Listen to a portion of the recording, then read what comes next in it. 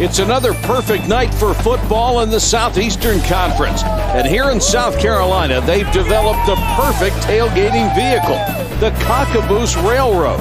22 cabooses lined up on a track just outside of Williams-Brice Stadium with all the comforts of home and then some. Those fortunate fans will be part of a sellout crowd here in Columbia to see the 13th ranked Tigers of LSU at 4 and 1 take on the 5 and 2 South Carolina Gamecocks.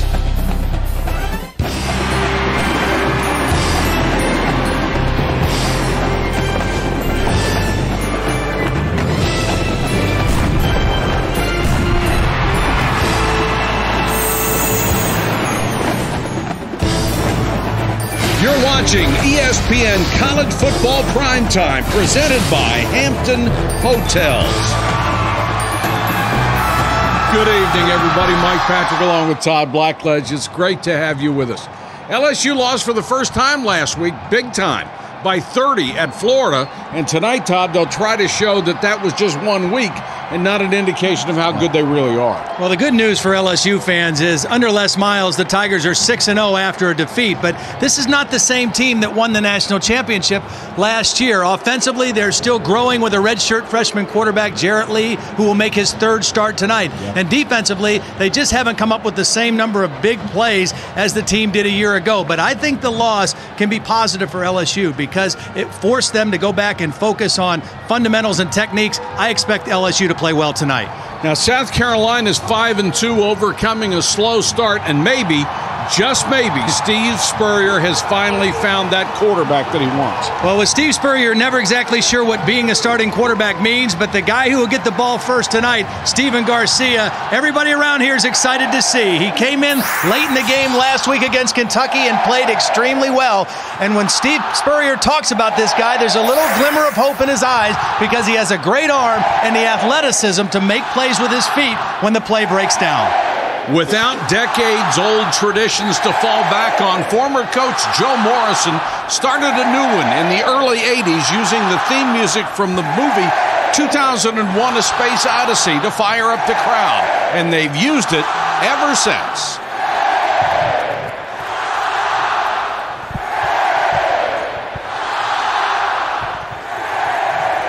And now it's time for Carolina football.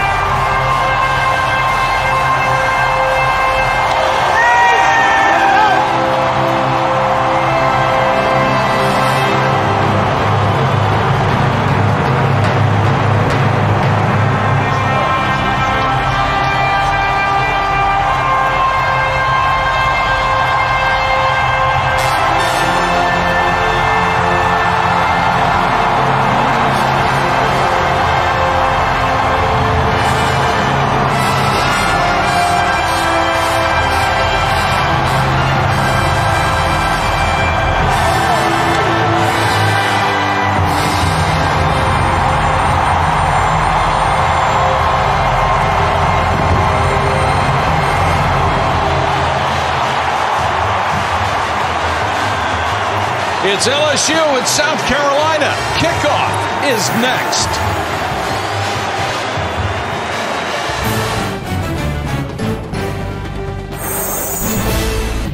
ESPN's College Football Primetime. Brought to you by Papa John's. Order by text message or online at papajohns.com. And Chase Freedom, introducing rewards points you can use like cash. Visit chase.com slash freedom. Introducing Wendy's new pretzel bacon pub cheeseburger. Nothing will distract you from the pretzel bun and beer cheese. Not even all the comments on the pic you posted of your pretzel bacon pub cheeseburger. Download the app to order ahead and get Wendy's rewards. Let's remember this time where none of us felt secure and fight for a future where everyone can. Because when the world seems like it's standing still, that's the perfect time for us to change it. How these things start. You try Wendy's buy one, get one $4 breakfast offer. Love it and tell a friend. Then they tell a friend, and so on and so on and so on. So get to Wendy's and get some breakfast.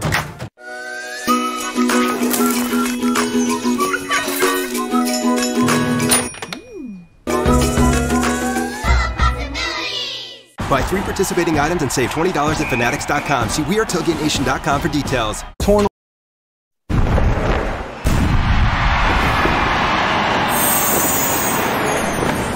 Hey, what's up, you guys? I'm Darius Rucker. Some of y'all might know me from my new country record, or I know a lot of y'all might know me from Hootie and the Blowfish. But what I'm here to talk about today is the mighty, mighty Gamecocks. I got a message for Les Miles and everybody at LSU. It's time for us to start getting respect, and today, is the day it starts. Go Gamecocks, beat LSU. Well, oh, what a great run of hits they had with Hootie and the Blowfish. Coming up on our show tonight, we'll tell you about the man on the LSU sidelines who is helping power the Phillies run to the World Series.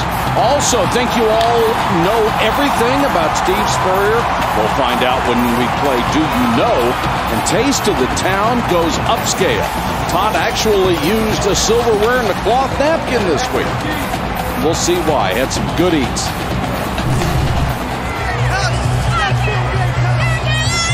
South Carolina won the toss, deferred to the second half, so LSU gets it first. Ryan Succop will kick to Keiland Williams and Trindon Holliday. And Holiday a blazer. I talked to Ray Rychleski, the special teams coach for South Carolina. He said, We're going to kick off to Holliday because we think Succop can kick the ball out of the end zone. When it comes to punting, a little different story. He's had 14 out of 36 kickoffs have been touchbacks. He has an NFL leg. Holliday two yards deep. Keiland Williams says keep it there. So they'll start from the 20. Let's check in with Holly Rowe. Last week at the Swamp, the young quarterback for LSU, Jarrett Lee, had some troubles communicating with his offensive line. It caused some confusion in the running game. So, this week at practice, they piped in the usual crowd noise, but they forced the offensive line not to help him. They wanted him to be responsible for getting the signal, the audible to the entire offense. We even may see it a little bit more no huddle like we're seeing right now, so he can just run to the line, have plenty of time to make those adjustments so there's no confusion tonight. All right, Holly, thanks very much. You can check out the starting lineups at the top of your screen. Scott gets the first carry and powers his way up to the 29-yard line against one of the top-rated defenses in the country. This South Carolina group has been sensational. Well, they really have, and that's a very positive sign for LSU and for Charles Scott because he had a struggle last week against Florida. 12 carries, only 35 yards. And that's a good first run for him had a streak of four 100-yard games in a row. They go out quickly to Brandon LaFell, their leading receiver, and LaFell crosses the 30 and has a first down.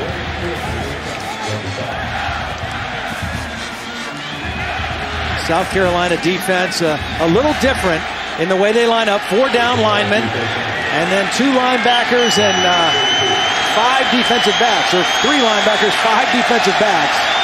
So they play the spread formations with just their normal defensive personnel. Chris Mitchell, number 86, is in there as a third wide receiver. Here's Scott. And obviously they want to establish him early after those troubles last week, brought down by one of the two big inside linebackers, Eric Norwood. He goes 253. Jasper Brinkley, the middle linebacker, is 269 pounds. This is a very physical defense, and especially those two guys. Norwood was a defensive end the last two years. And in Ellis Johnson's new scheme, they moved him to an outside linebacker, but a very physical presence.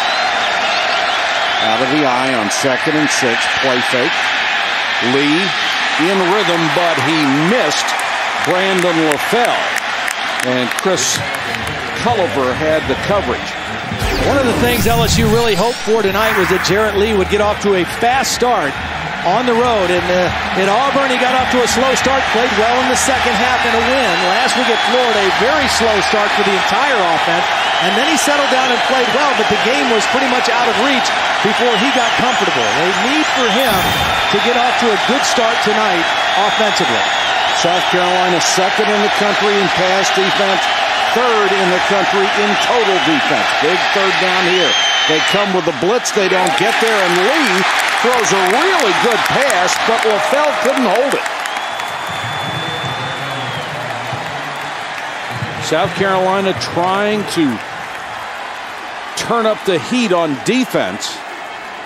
Well, certainly what South Carolina wants to do is put the game in Jarrett Lee's hands. If they can neutralize the running game like Florida did last weekend, put it in the young quarterback's hands, that would play right into the favor of the South Carolina defense. Captain Munnerlyn, who had a huge game a week ago, and Brad Daughtry, wearing number 30, is in. He's a left footer. The only way you can tell the difference between these guys, they have two punters. They will exchange numbers 30 and 38. One of them is a left footer, one of them is a right footer. There's a 35 yard kick returned by Munnerlyn for 18 yards. And Stephen Garcia, who had, as we have a player down,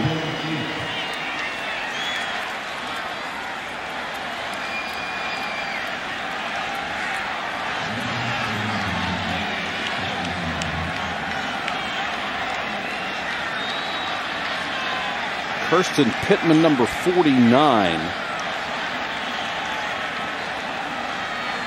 appears to be the injured player, and he is being tended to by the LSU training staff.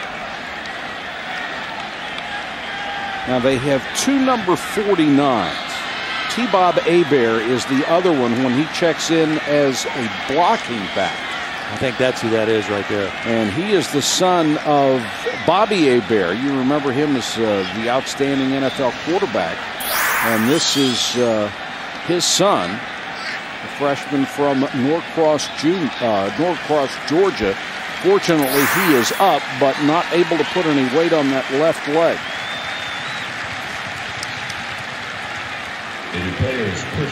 And now walking a little bit better. That's good to see. And I know Bobby, I'm sure he's watching this game very concerned about his son.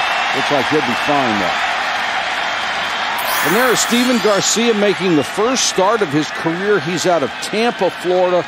Very highly recruited, a big arm kid, very mobile, tremendous potential. And the one problem he has had so far because he has missed so much practice, especially in the spring because of off field incidents, he just doesn't have very much practice time and very much game time to go by. Now Garcia breaks out of the pocket. This is the dimension he can give you, and obviously he has some skill in this department. Picks up 12 and a first down. Of course, he missed spring practice the first year, arrested for drunkenness, suspended for three days by the coach, arrested for vandalism, and that had to do with the professor's car. That was the most serious of any of these charges. Reinstated for the 2007 season where he redshirted, underage drinking again, and missed spring practice this year. So he needs to really show that he is matured and developed and is ready to take the helm of this ball club. If you can't be counted on, you can't be the starting quarterback. Well, that's absolutely right. I, there, there's no question that Steve Spurrier is excited about this guy. He kept saying to us, you know, he gives us hope. He gives us some hope with his arm, with his feet, with his ability. But you almost have to hold your breath a little bit with him as well because he has to prove that he is accountable and he has to prove that he is capable of taking on this mantle of being a starting quarterback on an SEC program like South Carolina. And that's that's what we're all waiting to see. Chris Smelley had been starting, a blitz coming. And he throws it behind his intended receiver, Jason Barnes, who got a hand on it but couldn't hold it. But Smelley has been very, very inconsistent 10 touchdown passes as opposed to nine interceptions so far. And when Garcia came off the bench last week and had an excellent quarter and a half to lead them to a come from behind win, Steve Spurrier thought that this was the time to give him the start. And again, Steve has done a lot of different things with his quarterbacks through the years. I mean, you're never really settled in as a starting quarterback with him unless you play well. And, and all you know is that you've got the first snap tonight. That's what Garcia knows. Third and 10. Garcia certainly may have wanted to take off a little early that time. Didn't have the chance because Tyson Jackson was right there to get the sack. Three and a half for Jackson this year. Well, here comes Jackson. A little inside outside stunt. He beats his man to the inside. And for LSU, that is what they've lacked defensively big plays. That's only the 10th sack of the season so far for LSU. At this point last year, they already had had 18 sacks. Spencer Lanning, the punt. Chad Jones is deep. They like to put Jones back here in situations where they want to make sure he either catches the punt or lets it go. They want the sure hands back there. 48 yard kick and no return. Tonight's the night for delicious tortilla bowls with flat bottoms. Easy to fill, easy to eat. Only from Old El Paso. This football season, buy three participating items and save $20 off Fanatics gear at WeAreTailgateNation.com. At Emirates, we are proud that our promise is to provide a better flying experience to all our customers. But today, fly better does not just mean showers and bars above the clouds, as well as wonderful in-flight service. As routes slowly open up and our fleet takes to the skies again, our number one priority is the safety of both our customers and staff. And to make sure that every precaution is taken when we fly you back to your loved ones or on your well-deserved vacation. Fly Emirates, fly better. You took me in and you wrapped your arms around me for days. After being a part of millions of love stories. At K. This telecast is available in high definition. Brought to you by Pioneer's new Kuro. Welcome back to Columbia, South Carolina. LSU with its second possession starts at its own 20. Scott, nothing. Check in with Rece Davis. Rece.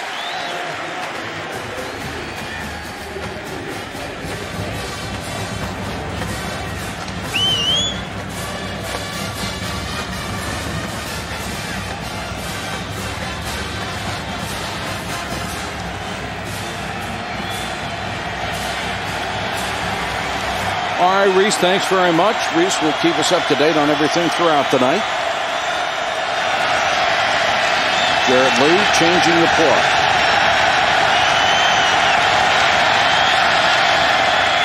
Straight back to throw. Four-man rush. And LaFell makes the catch up at the 32. They indicate it was a good catch off the. A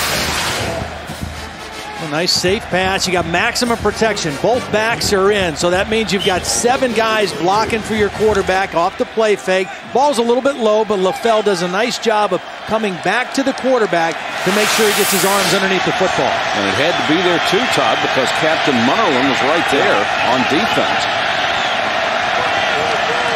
Out of the eye this time. Scott again. Flag is down. And Scott upended at the 37 yard line. Well, already, regardless of what this penalty is, already LSU is off to a much better start than a week ago. I mean, they they gave up a touchdown on the third play of the game to Florida, and in the first quarter they were outgained 186 to four. Illegal formation. Six men on the line of scrimmage against the offense. Five yard penalty remains first down. LSU, a lot of talent on the football team. Charles Scott, their leading rusher, averaging 114 yards a game. Hope for a big one tonight. Their leading receiver is the guy who just made that catch two plays ago, Brandon LaFell. 29 catches, make that 30 now in the year. And probably the second favorite target for Jarrett Lee is inside the tight end, Richard Dickson, a junior out of Ocean Springs, Mississippi.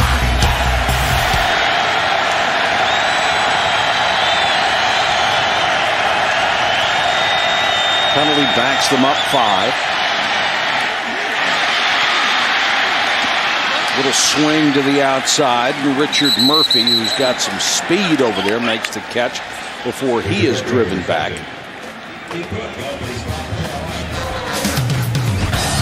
Well, this was last week. The third play for Florida. It was actually a play where Danny McCray was in position, got a hand on the football, but there was no safety help over the top. It was a blown coverage.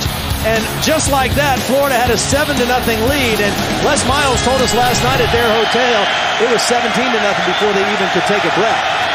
And they were out of that game quickly.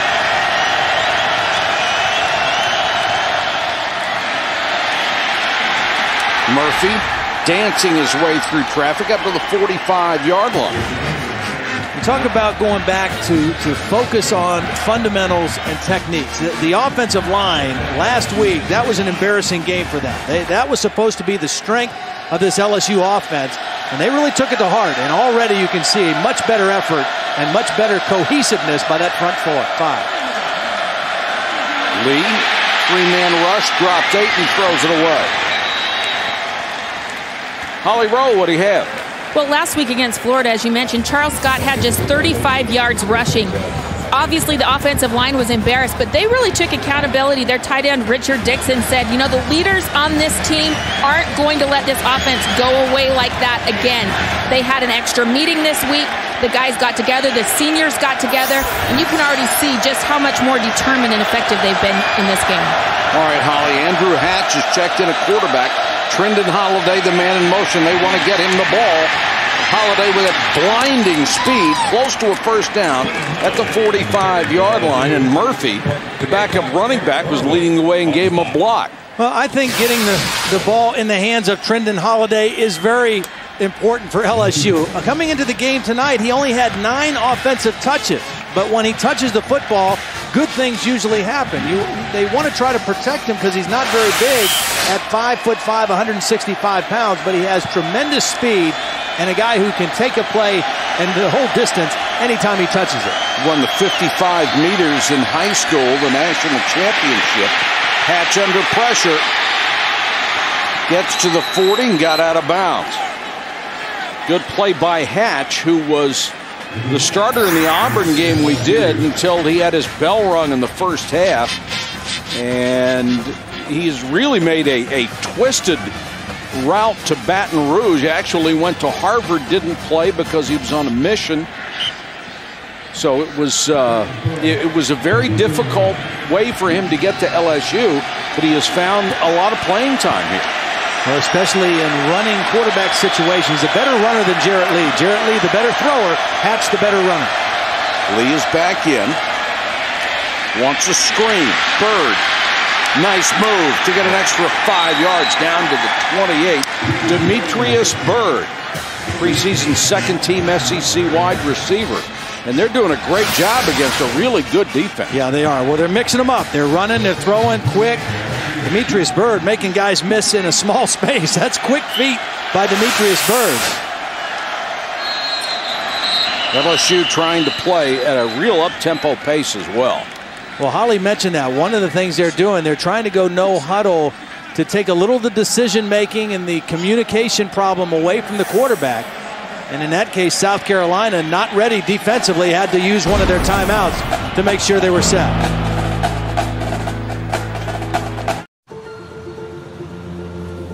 Let's remember this time where none of us felt secure and fight for a future where everyone can. Because when the world seems like it's standing still, that's the perfect time for us to change it.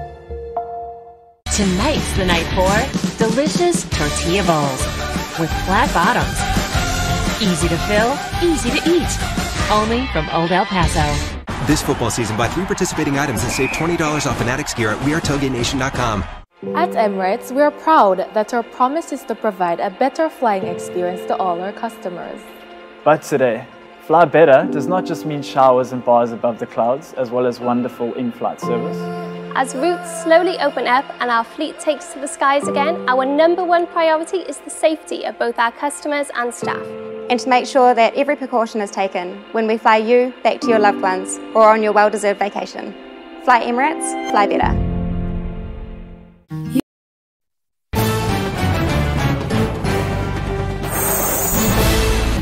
ESPN's College Football Primetime is presented by Hampton Hotels. At Hampton, we love having you here.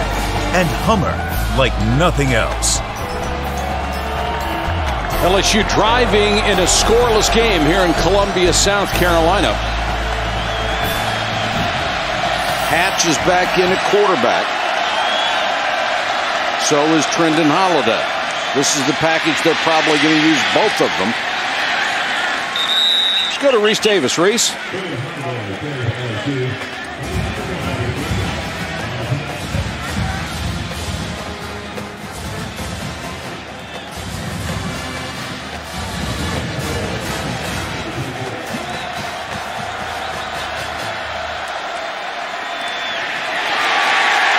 Pick six is a killer. Good defensive play by South Carolina.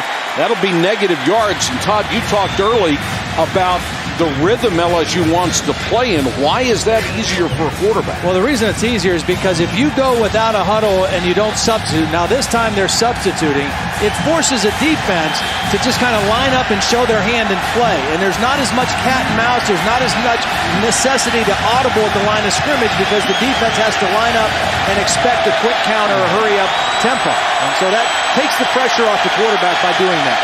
Lee comes back in on third and 13. All out blitz coming. Lee had to rush it because of the blitz, and that's nowhere near a first down. The pass underneath. When you got to like Ellis Johnson, the new defensive coordinator, he's put together quite a unit. Yeah, well, he's bringing some pressure from the outside, and that's going to force Jarrett Lee to kind of drift a little bit. Here comes the pressure. He drifts to the right of the pocket and then doesn't get a whole lot on that throw. And by the time it's corralled, the defense is there to stop it well short of a first down. That was a good defensive stand in their own territory. Colt David will try from 48 yards. And right down the pipe. LSU takes a 3 0 lead. And when we come back, we'll tell you about the man on the LSU sidelines who's helping power the Phillies run. You did this and this for less with store-wide Labor Day savings and free delivery. The Home Depot is making do it even more affordable. So the only question now is what could you do next? The Home Depot. How doers get more done. No one knows where it comes from. It's the fighting spirit. Ready to fight whatever shape the battle takes. As long as there are battles,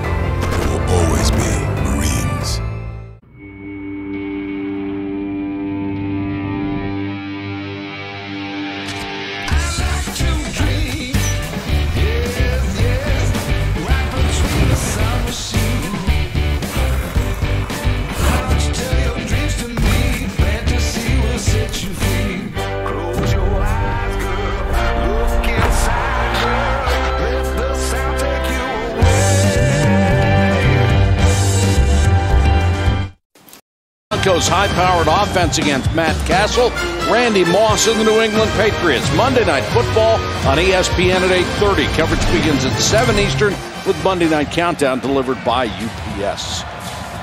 LSU with a 3 0 lead to kick off to Captain Munnerlyn, who had one return, his first of the year last week for 84 yards. You might imagine that's why he's back in there this week. Returnable. From the 17 yard line. Whoa. Wow. Didn't have much room to get a return after he caught that ball. Let's check in with Holly. Well, guys, I'm down here with a pretty special bat. This is a bat used by Ryan Howard of the Phillies. It's from the Marucci Bat Company. Surprisingly enough, in his day job, Jack Marucci is the head athletic trainer for LSU. He supervises 20 different varsity sports. On the side, he started making bats by hand for his seven year old son, Gino. It kind of took off, and now he has 60 major leaguers that use these handmade bone rubbed bats. They actually use maple and ash from natural grown trees in Pennsylvania. They use the same style that Babe Ruth and Lou Gehrig used, and they rub them with a bone from a cow's femur to help seal the wood and harden it. Guys, it's working out pretty good because the Phillies, about six of the guys on that team use these bats, and uh, you might have heard they're going to the World Series. Holly, that's pretty good publicity, isn't it, when uh, one of your main clients is doing that well? And of course, Ash, there is such a controversy in Major League Baseball now over maple bats and the way they shatter. They'll keep this one on the ground to Davis, and Mike picks up a couple. I'll tell you what, those bats are really beautiful too because uh, Jack made four of those for my boys. The Blackledge boys each have their own autograph model of the uh, Marucci bats. They all chose different styles and colors, but uh, really a great piece of workmanship. And the South Carolina player is down. Jamon Meredith, number 77, who was the starting left guard, a senior 6'5", 297. gets up slowly. Probably the most experienced of their offensive linemen up there, kind of trying to walk off on his own power. And early in the year, Steve Spurrier was really upset with that offensive line. He says, You can have quarterbacks, wide receivers, running backs, all the greatest plays in the world drawn up. If you can't block anybody, you can't use any of them. Yeah, that, that's kind of been a problem, I think, for him here. I mean, the, the offensive line in his time here has not been particularly strong. And then he hasn't really had the kind of quarterback that he was accustomed to having at Florida. That's why everybody's wondering if Stephen Garcia is going to be the guy. But even if he is, he better have guys blocking for him in front, especially against a defensive front like the LSU Tigers.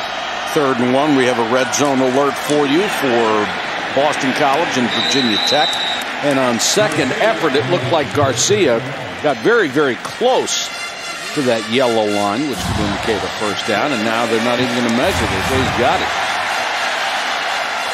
Well, it's interesting because Stephen Garcia, even though this is only his first start, coming into the game tonight, he was the second leading rusher on the football team behind starting tailback Mike Davis. I mean, he is a mobile guy and has the ability to Jeez. make some people miss. Another player down. That's Drake Nevis, a backup tackle. And you got the feeling talking to the coaches this week that uh, they thought the most physical team was going to win this yeah. game. It was pretty obvious they thought this would be a smash mouth ball game. And we're seeing people dropping early. On LSU already with a little bit of a depth issue at the defensive tackle. Ricky Jean Francois out for the second game in a row. Did not play last week in Gainesville. Has a groin injury. He is still home in Baton Rouge. And Drake Nevis was uh, the guy that was playing in his place. Charles Alexander, the other starting tackle, is a guy who is playing but can't play a whole game because of lingering aches and pains from a, a knee surgery a year ago. And Marlon Favorite is the other guy they expect in that rotation, so they are getting very thin inside.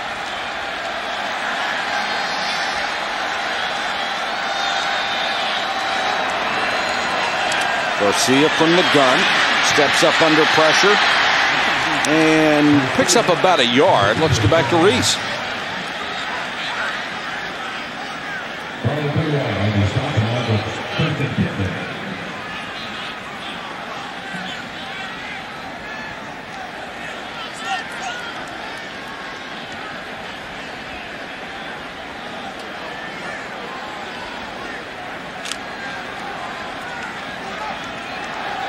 Penn State certainly made it interesting for a while, yeah, didn't they? Yeah, they did. Well, Michigan made it interesting for a yeah. while. and, uh, Penn State came on the second half.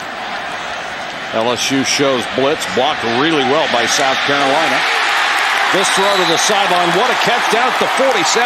Kenny McKinley, who will one of these days, very soon, own all of Sterling Sharpe's receiving records here.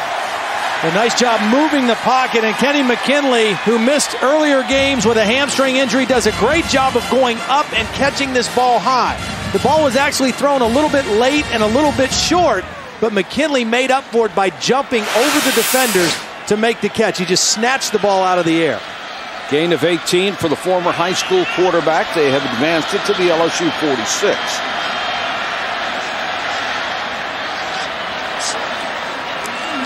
Garcia to Davis.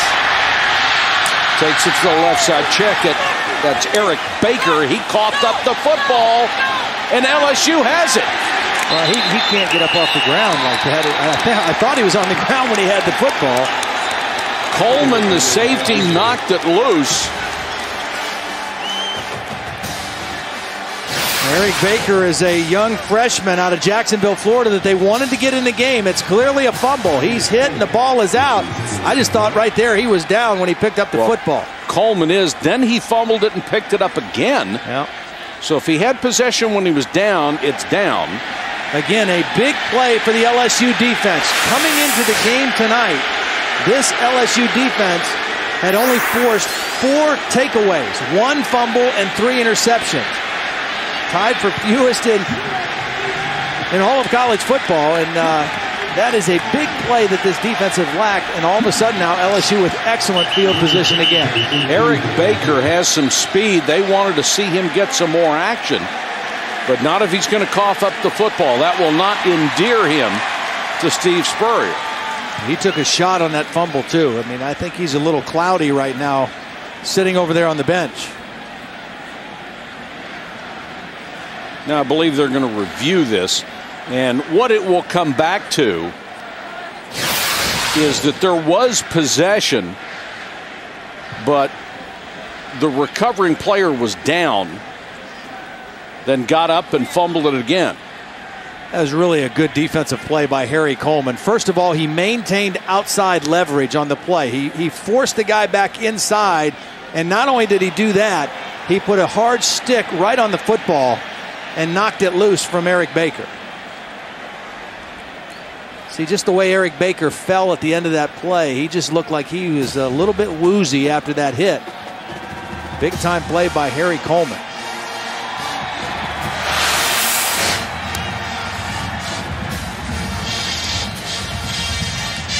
Last year, through the first five games, this LSU defense had 15 takeaways. Ruling on the film is confirmed. First down.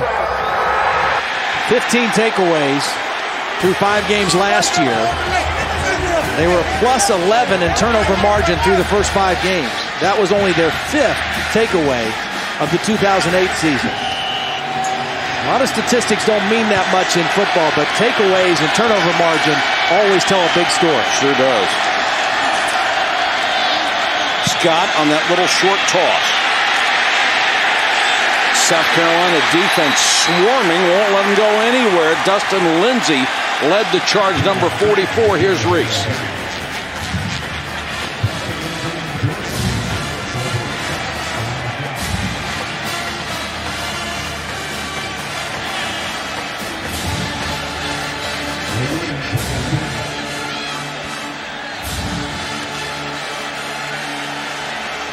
Colt McCoy, I'm not sure anybody's playing any better football than he is right now. Just a Big 12, a conference of quarterbacks, and Colt McCoy playing as well, if not better than all of them.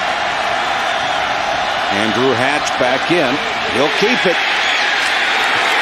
Tell you what, this South Carolina defense, one thing that they have done extremely well all season, well, they've done a bunch. I mean, they lead the SEC in total defense, but their offense has turned the ball over 20 times, and they've only allowed 27 points off of those turnovers. That was now the, the 21st South Carolina turnover, and all of a sudden it's third and 10. They, they had to come on the field in their own territory, and two plays netted LSU zero yards. They really suck it up after the offense puts them in a hole with a turnover. Third and 10. Lee back in. Sets in the middle of the pocket, throws down the middle and drop right in the hands of Brandon LaFell. A perfect throw from Jarrett Lee, and he dropped it. And that's a catch LaFell has to make. He's in the slot. Number one, he's working on Stoney Woodson, and he beats him. And it's a perfect throw by Jarrett Lee right over the linebacker Marvin Sapp's hands. And LaFell, that's just one he's got to come down with. Just You lost could- concentration. You could see him turn his head ever so slightly to look downfield, and the ball bounced right off of his hands. Dalfrey is into punt.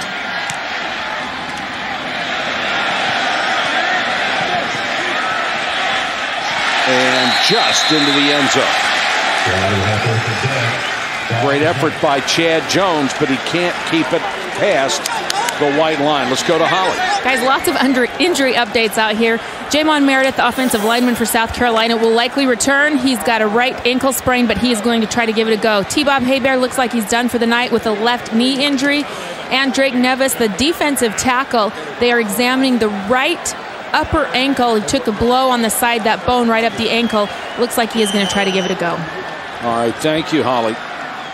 151 to go first quarter in a 3 0 game. Garcia will start from the 20.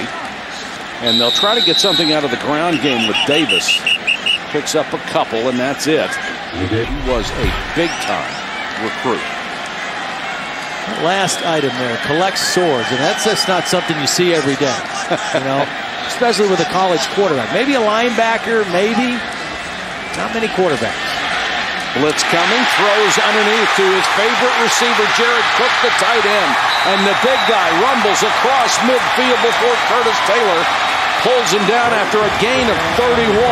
the 27th catch this year for Jared Cook. He leads in that department and also in receiving yards. Well, here he is in the slot, and it's just a quick crossing route. That's all it is.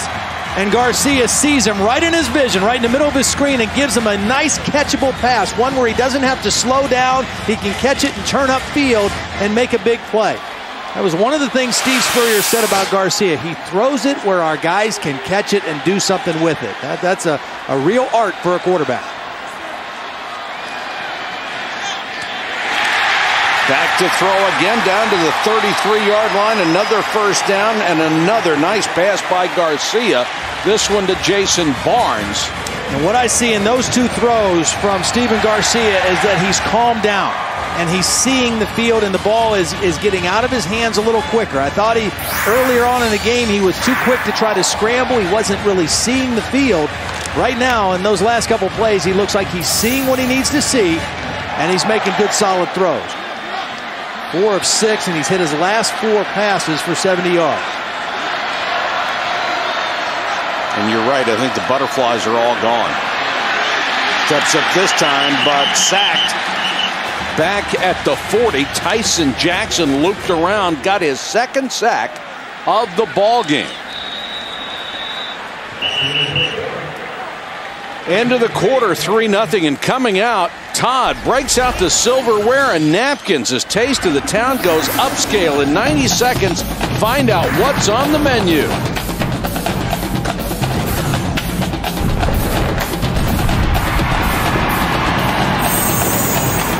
You did this and this for less with store wide Labor Day savings and free delivery. The Home Depot is making do it even more affordable. So the only question now is what could you do next? The Home Depot. How doers get more done.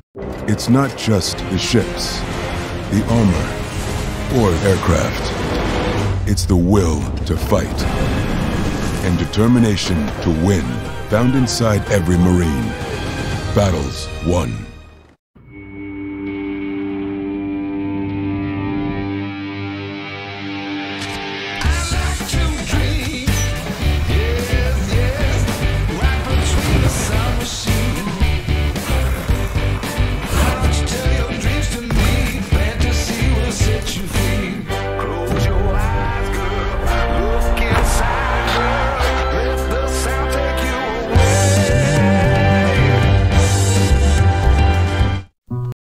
But it's time for Todd's Taste of the Town, brought to you by Chase. I found that Columbia, South Carolina is home to several excellent restaurants, and one of my favorites is a place called the Blue Marlin. It's been here for 15 years and it's actually located in what used to be an old train station. The restaurant features low country cuisine, including their signature dish, shrimp and grits. Here's what makes this dish special. It starts with grits that are milled across the street at the Adluh Milling Company. Then they cook them for three hours in chicken stock and milk and a touch of cream.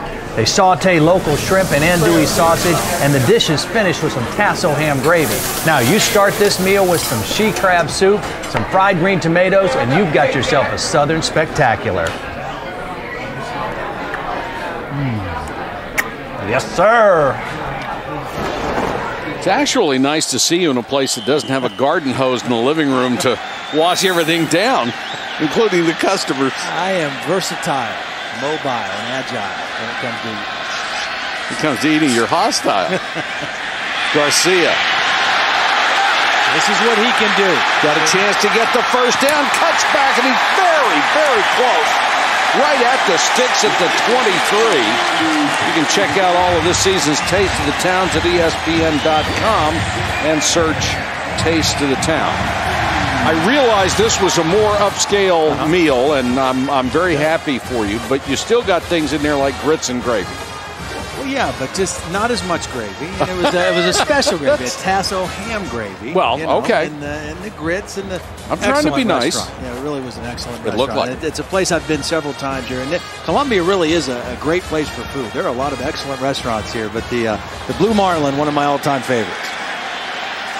Garcia did get the first down. That was a big time play. He launches this one over the middle. That should be, and flags come from everywhere. Yep. Chris it was intended for Barnes, and it looks like he really got twisted around. And it was another good throw by Garcia. Yeah. Garcia looks so comfortable right now. I mean, he is getting rid of the football. He's hitting his last step of his drop. He knows where he wants to go with the ball, and it's out of his hand. And he's accurate. You know, so many times you see quarterbacks throw the football, and it might be a completion, but the receiver has to wait for it or reach behind. Pass interference, number 29, defense. 15-yard penalty from the previous spot, automatic pushback. But when you have a quarterback who consistently throws the ball in front of the receiver where it's supposed to be, where he has a chance to catch it and make a play upfield, I'll tell you what, receivers love that, and coaches like Steve Spurrier love that. First and goal after the penalty. They'll spot it at the eight. This is where South Carolina has struggled. In the red zone, they've not been able to score a lot of touchdowns. Empty backfield for Garcia, trying to scramble out of trouble. Not going to be able to as Kirston Pittman, the defensive end number 49, brought him down, and that will really upset Steve Spurrier. Yeah. You can tell that Garcia is one of those guys that's got that short clock in his yeah. head, and he goes one, two, I got to get out of here. Well, credit the front four of LSU because they're not giving him many lanes to scramble up through. He did get the 16 yards out in the perimeter. And all Steve wants him to do here is get rid of the football, throw it. If it's not there, throw it out of the end zone and come up second and 10 rather than second and 16. It's already tough enough in the red zone without adding extra yardage. Mike Davis checks back in. It was an empty backfield in the last set. Garcia throws to his tight end, Cook, and Jared Cook inside the five and out of bounds at the three. Patrick Peterson made the saving tackle. Second time they found Cook on a short crossing route. Does a nice job of maintaining his balance, shaking off the first tackler, and getting it inside the five-yard line. When you got a big target like that, 6'5", 240 pounds coming right into your vision, boy, that's nice for a quarterback. Very easy to flip him the football and let him make a play. Third and goal.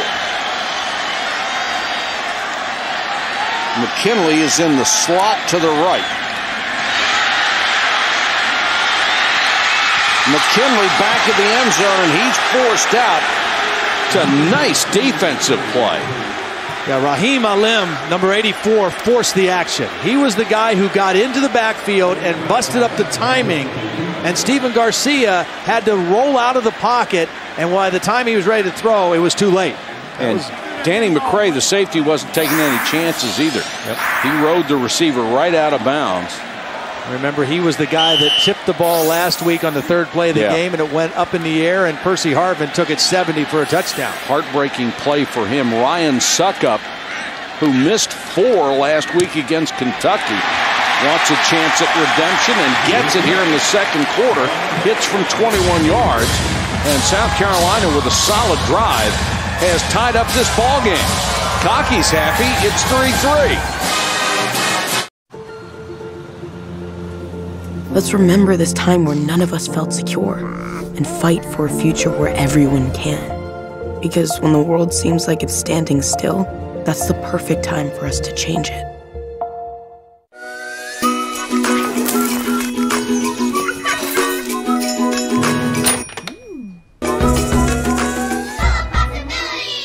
Buy three participating items and save $20 at Fanatics.com. See WeAreTailgateNation.com for details. At Emirates, we are proud that our promise is to provide a better flying experience to all our customers. But today, fly better does not just mean showers and bars above the clouds, as well as wonderful in-flight service. As routes slowly open up and our fleet takes to the skies again, our number one priority is the safety of both our customers and staff and to make sure that every precaution is taken when we fly you back to your loved ones or on your well-deserved vacation. Fly Emirates, fly better. Trivia question, what head coach led LSU to its first AP National Championship and South Carolina to its only football conference championship? Get your chance to uh, think about that for a while. Keiland Williams and Trindon Holliday are deep for Succop's kickoff. He provided the tying field goal. mentioned the red zone problems for South Carolina. That was their 20th field goal attempt in the red zone, the most of any team in the SEC.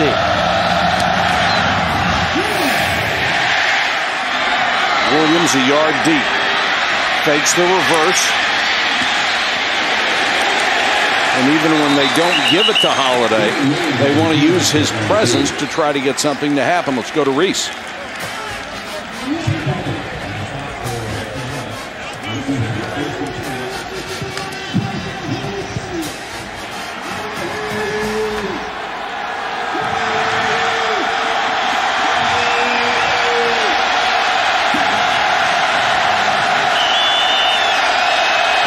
Thanks very much. LSU will start from its 22-yard line. And South Carolina defense, after struggling a little early, has really stepped it up here. Uh, again, you got to keep in mind as you take a look at what LSU has done so far tonight. This defense, it, it's not—they're not doing it with smoke and mirrors. I mean, they're the best defense statistically in the league, only allowing 241 yards per game and only 3.2 yards per carry when it comes to playing defense against the run. Mean, they're legit. They're strong up front and they're fast in the back end, and they all like to hit. Scott takes it out to the 29. That's still about four yards shy of a first down. Culliver up from the safety spot, and both of these safeties will hustle up and run support. Emmanuel Cook is, uh, I mean, he's their leading tackler, 56 coming into the game. But you look at their numbers. I mean, it's uh, Ellis Johnson, who was at Mississippi State the last four years, has done a wonderful job in his first year here. Lead lost the football just dropped out of his hand. He dives on it and a flag down after the fumble recovery. Yeah, I think you're right. That ball just fell out of his hand. I don't think he double clutched it or tried to stop from throwing it. I think he just dropped it. Have been a hold after the fact. I think that's what it is.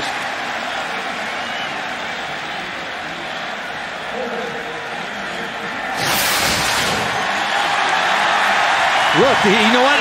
I'll tell you what he did. He didn't have his hands on the laces. He was trying to throw it quick, and he was just throwing it however he caught it, and his whole hand was without the laces, and the ball slipped right out of his hand. Normally, you try to adjust that ball off the shotgun snap and get your fingers on the laces. He had no fingers on the laces on that particular throw, and he dropped it. Dalfrey to punt to Munnerlyn. And Captain Munnerlyn waits at the 35-yard line.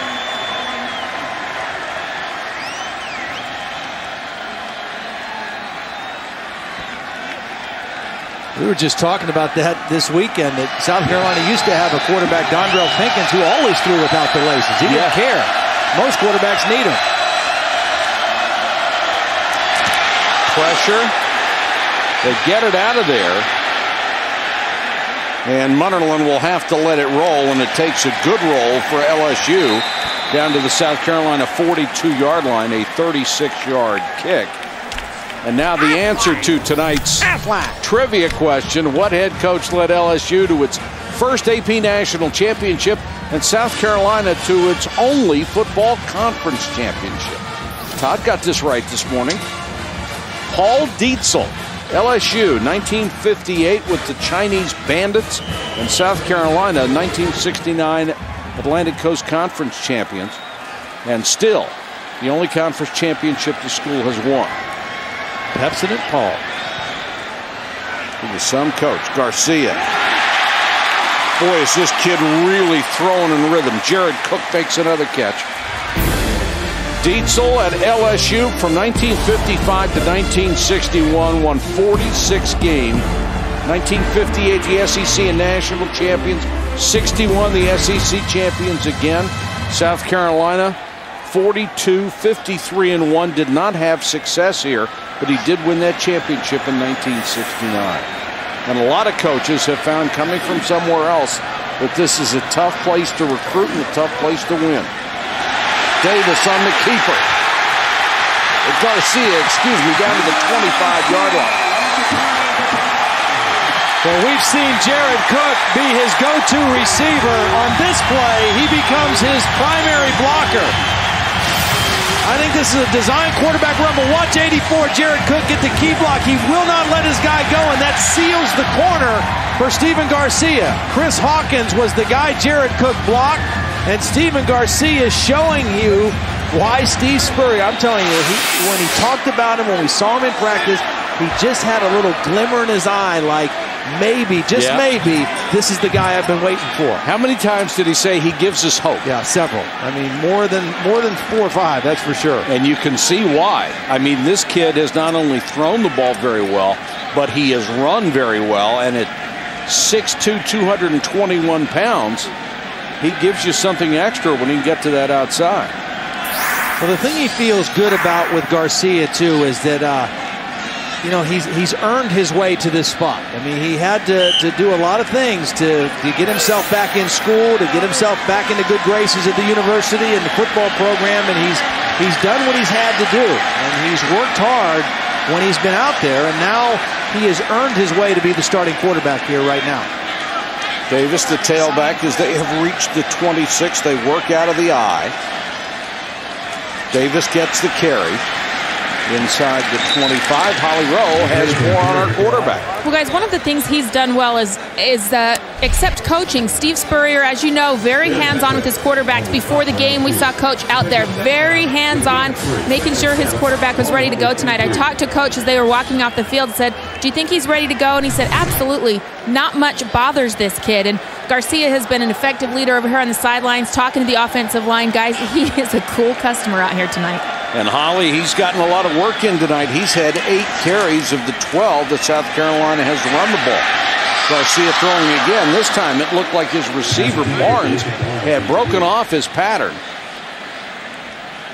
One of the things, if you're a quarterback playing for Steve Spurrier, you have to learn how to manage and handle being coached by Steve Spurrier because Steve Spurrier is going to coach you hard. I mean, he's going to coach you well, but he's going to coach you hard.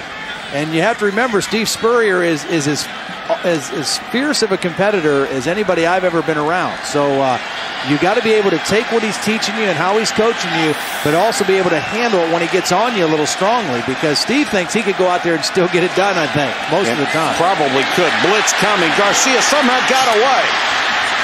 Keeping his eyes downfield, but LSU did a good job covering up after he beat the blitz. Gary Coleman, uh, Harry Coleman came flying in, and Garcia somehow got away from him. Yeah, safety blitz. He times it. See, whenever a safety can hit this on the run without having to slow down or stop, there's no way a lineman can pick him up. And he forces Garcia out of the pocket and has to run short of the first down. That was a, a well-timed blitz by Coleman and a nice call by Bradley Dale Peveto, the defensive coordinator, co-defensive coordinator over on the LSU sideline. This will be a 39-yarder for Ryan Succop, who was already hit from 21.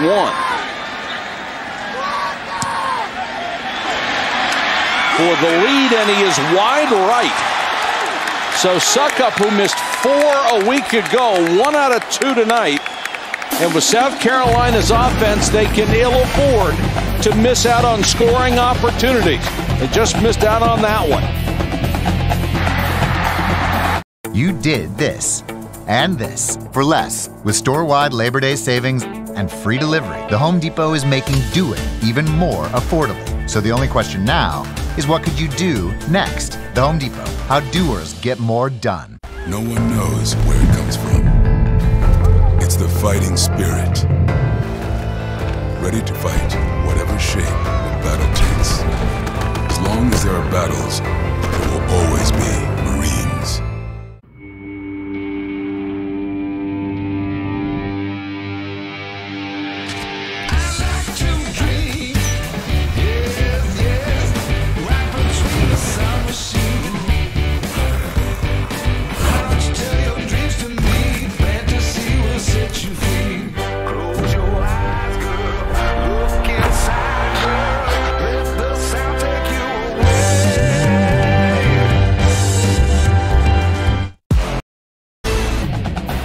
ESPN's College Football Primetime, brought to you by Aflac, Ask About It at Work, and Mercedes Benz, located on the web at MBUSA.com. Here's a look we've seen before, and there's another look we have seen before from Les Miles. Some of the images from earlier in this ball game. LSU takes over after the missed field goal at the 21. Scott, who's been handled pretty well since the first couple of drives in this ball game, doesn't get much there. Let's check in with Rece.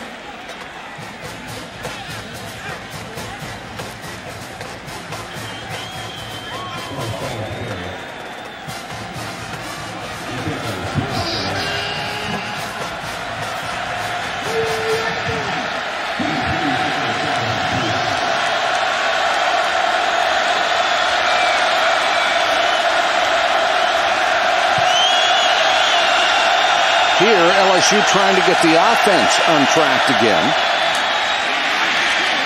On the delay, they'll give it to Murphy, and Murphy, that scat back speed, tries to get to the outside. No luck.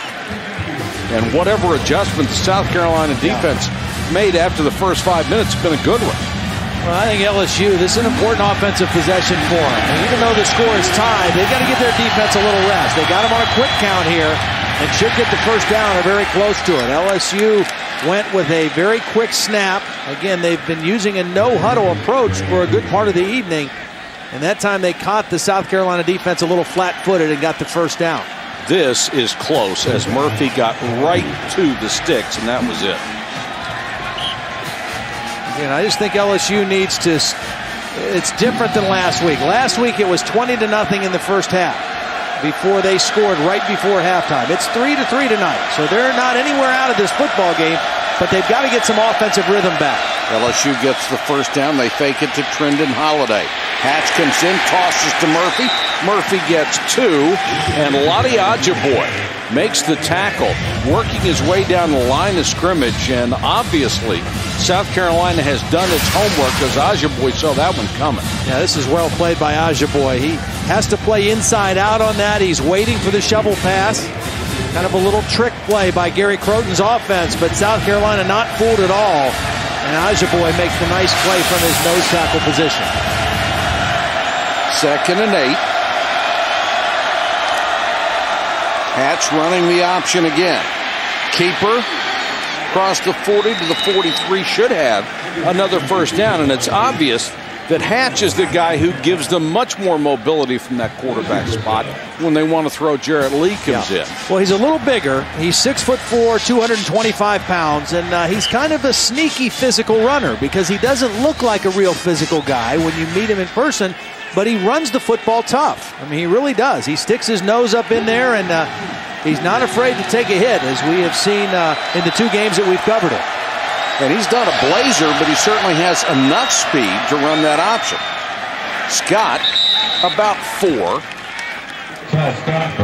Jasper Brinkley, enormous. So he has been everywhere to get the opportunity to start for LSU after Matt Flynn graduated and Ryan Perrilloux was finally kicked off the football team. Now Keiland Williams will come in number five to get his shot at tailback. And Jarrett Lee is back in there throwing and completes to the sideline to Byrd.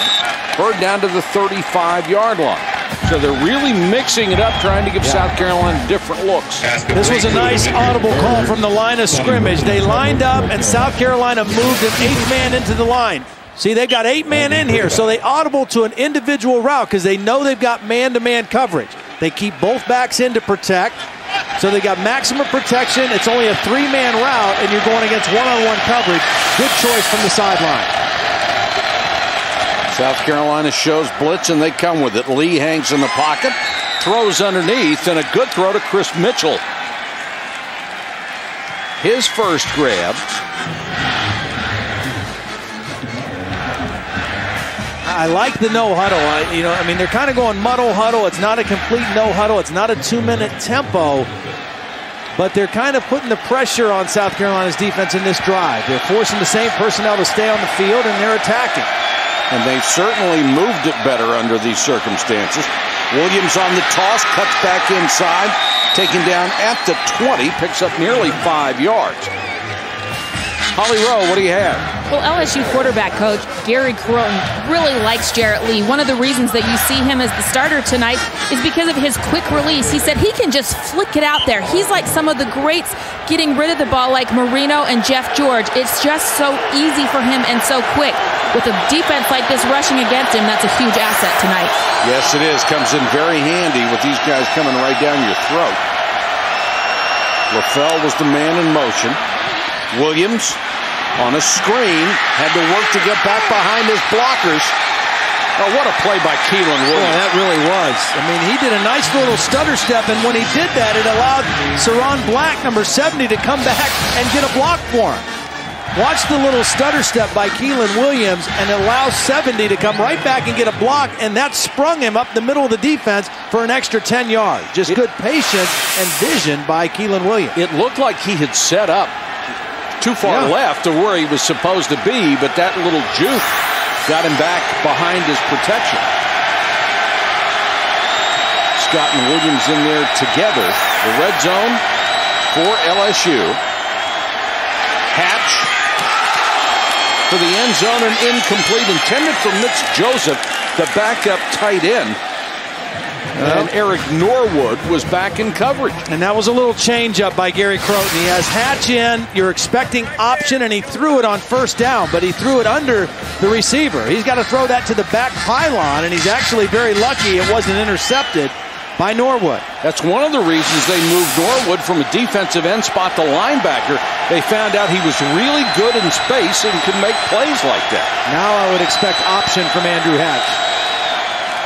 Instead, they give it to Scott, and Scott powers his way to the end zone. And the signal finally touchdown. Quinn Johnson, the fullback, led the way in a gaping hole up the middle. I think South Carolina was thinking option yep. too. They were thinking outside, and LSU countered with an inside run. You mentioned Quinn Johnson, also the right guard Lyle Hitt number 65 with an excellent block. And those two guys got Charles Scott into the end zone. A drive that took over five minutes, went 78 yards in 12 plays all out of the no huddle as they alternated quarterbacks and threw just about everything in the playbook that they had against South Carolina, and it worked. Let's remember this time where none of us felt secure and fight for a future where everyone can. Because when the world seems like it's standing still, that's the perfect time for us to change it. Tonight's the night for delicious tortilla balls with flat bottoms. Easy to fill, easy to eat. Only from Old El Paso. This football season, buy three participating items and save $20 off Fanatics gear at WeAreTailgateNation.com. Still driving the old model, huh? I've been looking, but I just need someone to tell me what a good price is. Just use Auto Trader. It's the only one with Kelly Blue Book. It tells you if the price is good. You took me in and you wrapped your arms around me for days. After being a part of millions of love stories, at K, we believe that nothing yes. should get in the way of love. Get zero down special financing with the Long Live Love credit card, available at K Jewelers. ABC, the chase for the cup continues. Jeff Burton tries to carry his momentum from the win last week to Martinsville in the chase for the NASCAR Sprint Cup tomorrow on ABC. Coverage begins with NASCAR Countdown at 1 Eastern. For more information, log on to ESPN.com. And Gearhead has this to say. Well, Jimmie Johnson's still the point leader, but I'm anxious to see what Jeff Gordon does. He's a seven-time winner at Martinsville, but he's on a 36 race winless streak. So, uh, I don't know. He had the fastest final day of practice, so we'll see what he does. You have one of those big boxes at home with about 500 wrenches in them. No. no, I need to organize my toolbox, though. That's for sure. Oliver out to the 29-yard line. What about that last touchdown? Well, a couple guys I really want you to watch. Uh, a couple key blocks. The right guard Lyle Hitt. He's going to get a block, and then the fullback Quinn Johnson. These guys are going to get a block on the two best players on the South Carolina defense are the two best hitters. Hitt's going to get a block on Jasper Brinkley right there, and then Johnson gets a block on Emmanuel Cook, the free safety. They knock both of those guys out of the way, and Charles Scott is able to take it into the end zone. A very impressive offensive drive for the LSU Tigers, led by their offensive line. 350 to go in the half. Let's see what Garcia can do with that. Wants to throw one first down. Now takes off. Room to run. Garcia 34 and gets out of bounds. And here's Garcia Reese. on the keeper for Carolina.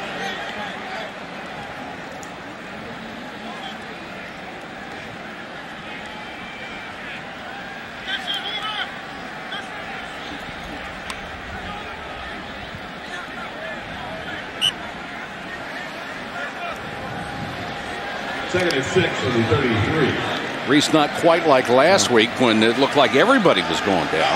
Well, I'm impressed with Texas. I mean, as emotional as that Red River shootout was last week, and for them to come back and play as well as they're playing in the first half tonight, uh, Mack Brown's doing a great job with that You football bet. team. Garcia on the run, wants to throw, and he's got it complete down to the 24-yard line as Kenny McKinley had to come back for it and was able to pick it up a gain of 40 yards. And from what we have seen so far, this kid could be for real. Well, he is. He got away with one here because you don't seldom get away with one throwing late down the field. He throws it late, it's underthrown, but the good news for South Carolina, they had McKinley, their best receiver, on Harry Coleman, who's a safety, and Coleman was not able to come back to the football. McKinley saw it, Coleman didn't, and McKinley adjusted to the underthrow and got the big catch. Nice catch by Kenny McKinley. They'll spot it at the 26, and Garcia wants a timeout with 2.52 left on the first half clock. Been a big first half for Stephen Garcia in his first start at South Carolina. Let's remember this time where none of us felt secure and fight for a future where everyone can. Because when the world seems like it's standing still, that's the perfect time for us to change it.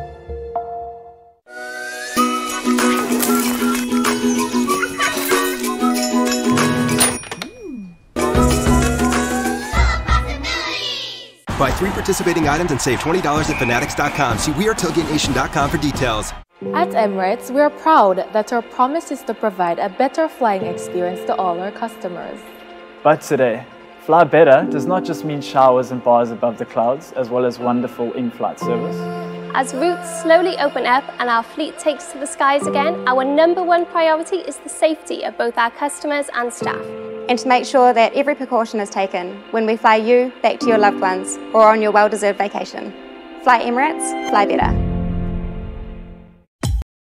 10 3 LSU, but South Carolina driving with 2 minutes and 52 seconds to go in the first half. Stephen Garcia in the helm for the Gamecocks. For the end zone and overthrown, intended for Barnes. And he was covered by Jai Eugene step for step. That was good coverage by Eugene right there in his hip pocket and uh, really took him out of position to make a play on the football. Garcia, after some early nerves, and you mentioned this earlier, has really seemed to calm down and be playing his position with a great deal of confidence, whether he's throwing it or running.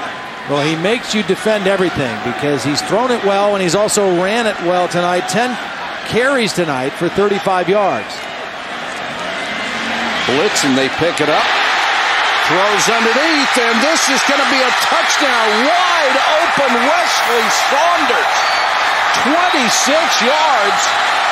Pretty tough to lose Wesley Saunders. He's 6'5, 274. Well, they've hit Jared Cook on the quick crossing route twice in the ball game. This time it's the blocking tight end, Wesley Saunders, and it really fooled the LSU defense. Expecting him to stay in the block, he crosses the formation and ends up with a touchdown.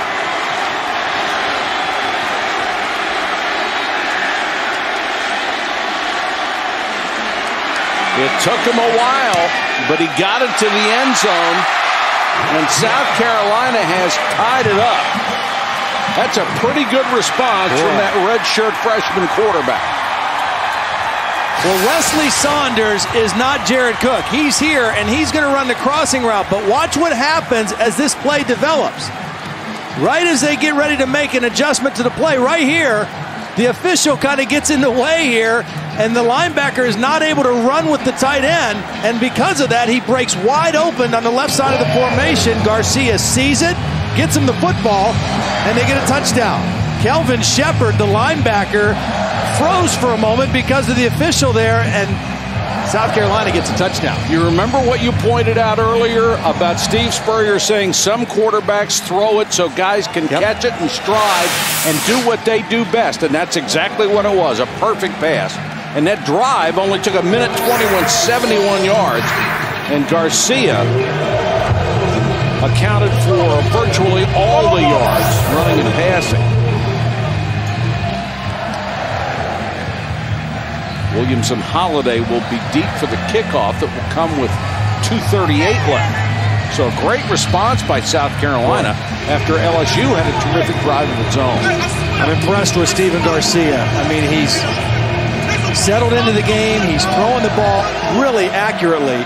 And this is a good defense. I mean, it's not the same defense as they had a year ago, but they've got pressure on him, and they uh, they're physical and they're talented. He's playing well.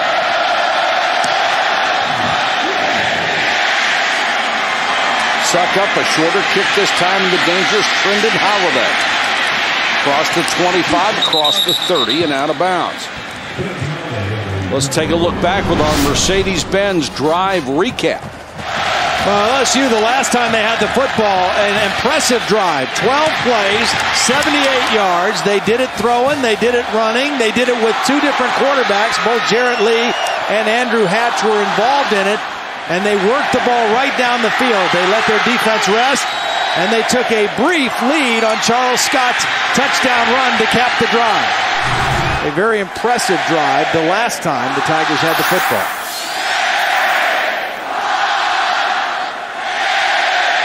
Lee will be the quarterback at the start of this drive.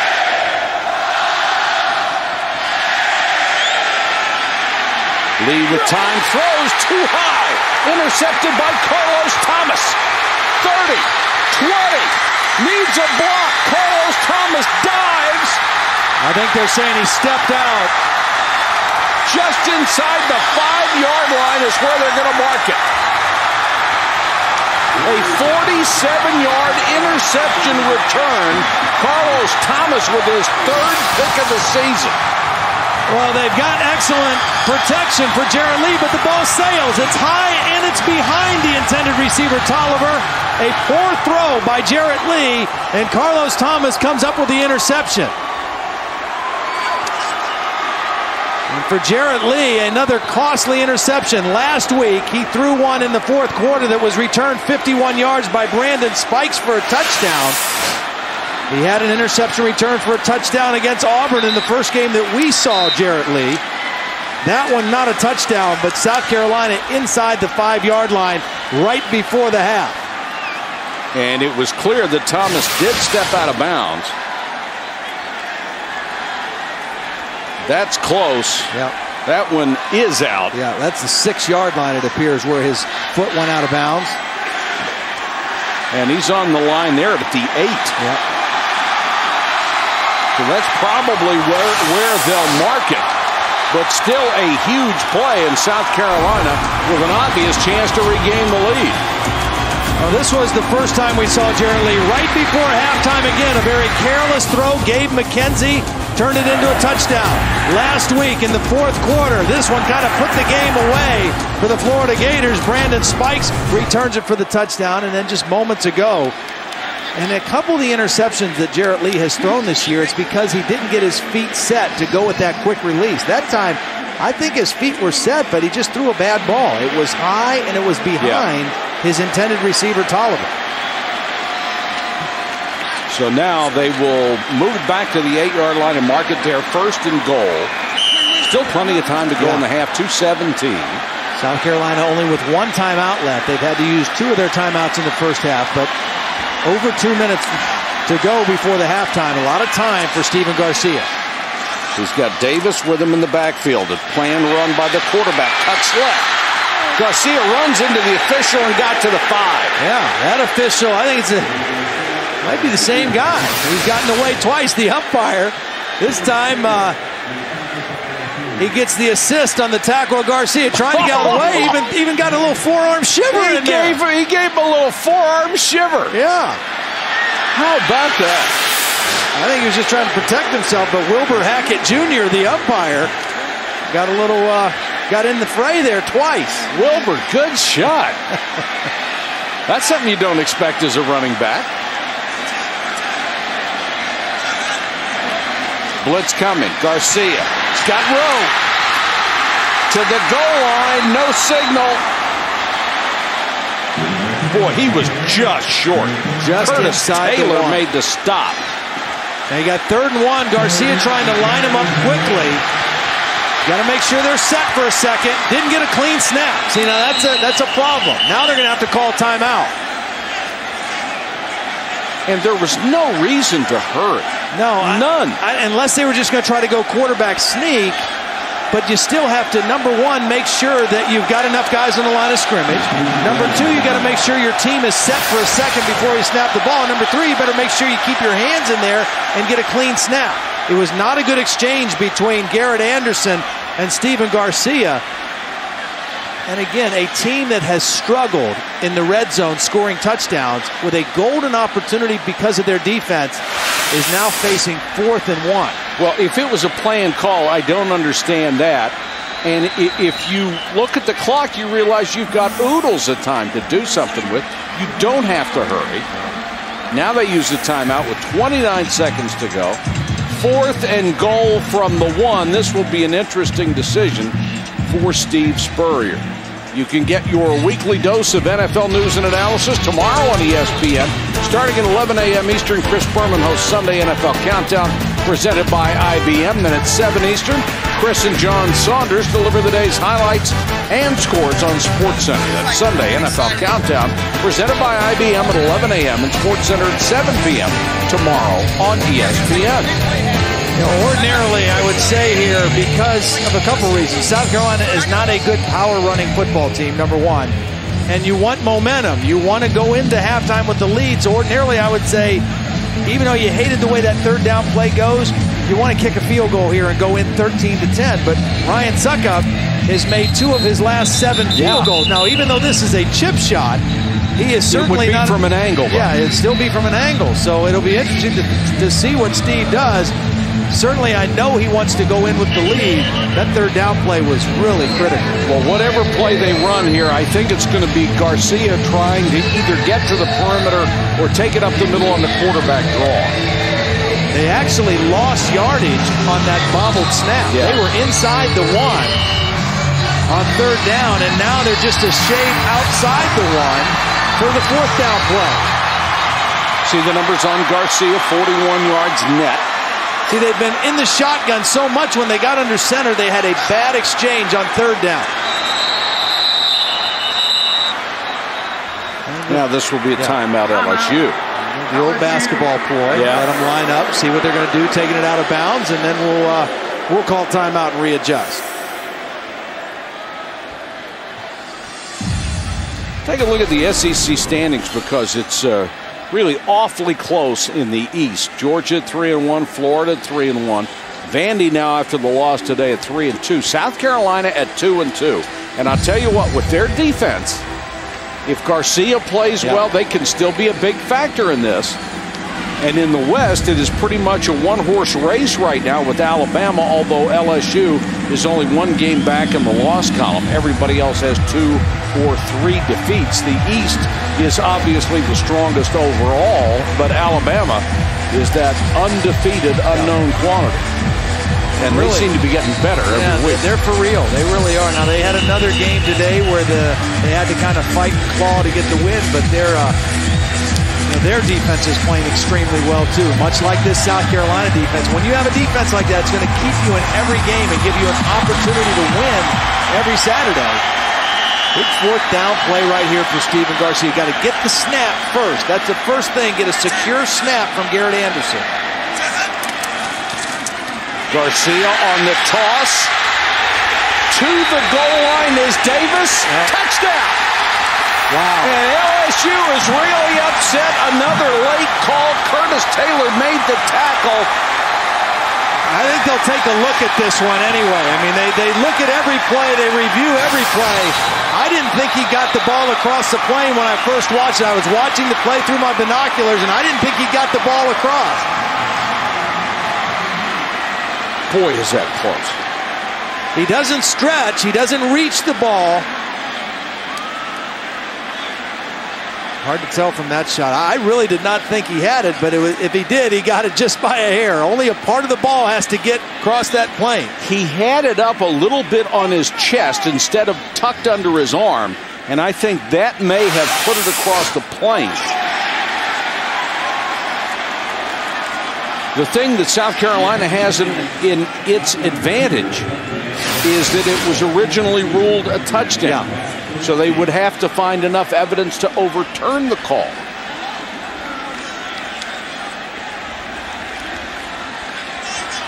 Really a nice play by Curtis Taylor, number 27, who made the first contact and was trying to pull Davis back in hopes that some other white shirts would be there to finish him off. But Curtis Taylor, the free safety, the senior, 6'3", 203 pounds, was the guy who made the play.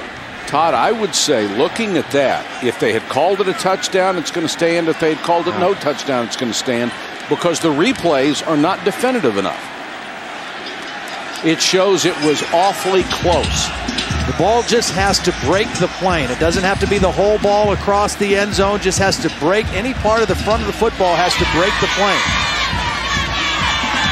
Man, was that close. And I was surprised at the call stands, touchdown. I don't know any other call that they could have made. After yeah. it was determined on the field that it was a touchdown, I think they've got to uphold it, and they did. Big run for Mike Davis, only his second rushing touchdown of the season. And South Carolina has taken the lead. Steve Spurrier rolls the dice, and it pays off with 22 seconds to go in the first half as you said, the safe play would have been to kick the field goal, yeah. have the momentum going in, say, look at what we're doing, guys. We've taken the lead over LSU at the half. Now he's really got the momentum. He can go in and say, now look what we're doing. We're up by a touchdown. Well, and, and Steve Spurrier, if you know anything about him, you remember watching him when he coached Florida, he doesn't like to kick field goals. No. He likes touchdowns. He likes throwing them first and foremost, but he'll take them any way you can get them. He likes seven over three. And uh, Stephen Garcia, his redshirt freshman quarterback, making his first start, has looked outstanding here, particularly in the second quarter. Throwing on rhythm, throwing on time, throwing accurately. And then when it's not there, showing that ability to get out of the pocket and make some plays with his feet. He has really looked good. The touchdown pass to Wesley Saunders. And Stephen Garcia has given this offense a real spark that Steve Spurrier has been waiting for. What is interesting about Garcia, with all the outstanding quarterbacks uh, that Steve Spurrier had at Florida, I think he's got a stronger arm than those guys do, and I think he is a bigger, stronger runner whether he will develop into the guy who constantly finds those wide open receivers time and time again and could run this offense to perfection, only time will tell. I think the guy that had the best arm that he had at Florida was Rex Grossman. I mean, he really yeah. threw the football well, but you're right about his ability to run and being a little bigger and stronger. Stephen Garcia has been really a, a pleasant surprise tonight for Steve Spurrier.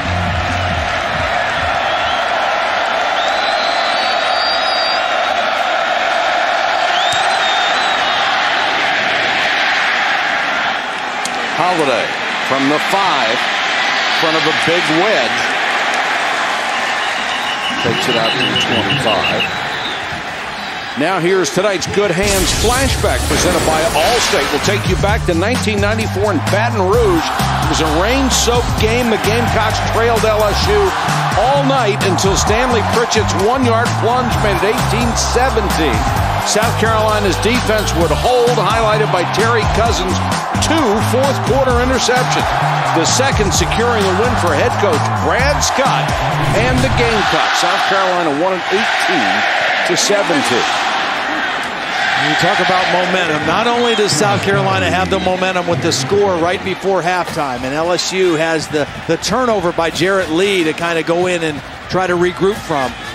South Carolina, because they deferred when they started the game, we'll, we'll start the second half with the football. So uh, a great opportunity to build on that momentum in the third quarter. And you have given the world of confidence to your redshirt freshman quarterback in his first start. He has been sensational in the first yeah. half. Well, you've got two redshirt freshman quarterbacks playing. Jarrett Lee for LSU is making his third start. Stephen Garcia for South Carolina making his first start. When you have young quarterbacks, a lot of times the game is just going to boil down to which guy makes the fewest mistakes. Now, South Carolina has to lean on Garcia a little bit more, maybe, than LSU does on Jarrett Lee because LSU has a better running game right. coming into the game, maybe a stronger offensive line. But still, the, the interception by Jarrett Lee, the difference in this ball game right now. Both teams have played extremely well, but that interception was huge, and that has come back to kind of hurt Jarrett Lee the way it did in the game against Florida, the way it did in the game against Auburn earlier. It wasn't a pick six, but it led to the touchdown. Now with only four seconds left, LSU still has to go 65 yards, and South Carolina rushes three and drops eight. Throw underneath is tipped and a nice catch by LaFell, but he only reaches the 41-yard line on the last play of the first half and they'll come to their feet in Columbia, South Carolina. The home folks have the lead over visiting LSU 17 to 10. Let's go to Holly. Coach, what made you decide to go for the touchdown, not the field goal there? Oh, it's fourth and one. We had to try to make seven, I thought. So Tell- field goal kickers missed a couple, but still, we had to go for How has your quarterback met or exceeded your expectations here in the first half? Well, he's moving around pretty well, and he's, he's throwing the ball pretty well. He's doing pretty well. All right, thanks, Coach.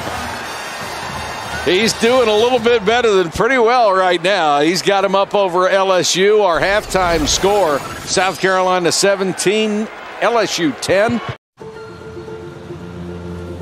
Let's remember this time where none of us felt secure and fight for a future where everyone can. Because when the world seems like it's standing still, that's the perfect time for us to change it. Tonight's the night for delicious tortilla bowls with flat bottoms. Easy to fill, easy to eat. Only from Old El Paso. This football season, buy three participating items and save $20 off Fanatics gear at WeAreTailgateNation.com. You did this and this for less with store-wide Labor Day savings and free delivery. The Home Depot is making do it even more affordable. So the only question now is what could you do next? The Home Depot, how doers get more done. It's not just the ships, the armor, or aircraft. It's the will to fight and determination to win found inside every Marine. Battles won. At Emirates, we are proud that our promise is to provide a better flying experience to all our customers. But today, fly better does not just mean showers and bars above the clouds, as well as wonderful in-flight service. As routes slowly open up and our fleet takes to the skies again, our number one priority is the safety of both our customers and staff. And to make sure that every precaution is taken when we fly you back to your loved ones or on your well-deserved vacation. Fly Emirates, fly better.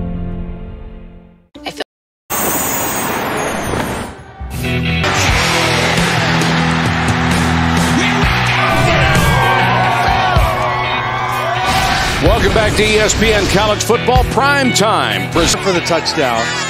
But uh, South Carolina able to put that touchdown across right before the end of the half to uh, to take the seven-point lead. And those are the kind of turnovers that really are difficult to overcome against a good football team. And we're seeing two good football teams in the game tonight. Sure are. South Carolina will get it first. Captain Munnerlyn is deep and has to retreat six yards deep in the end zone. He'll take it there. And the Gamecocks will start at the 20 yard line. Coming out party tonight for a South Carolina quarterback that Steve Spurrier told us earlier this week, and he said this several times gives us hope. Yeah. And after seeing him, boy, does he ever. He really does. I mean, he's a, he's a nice player. He's got a great arm. He can make all the throws Steve wants in the offense, and he's got the mobility to make plays when the protection breaks down.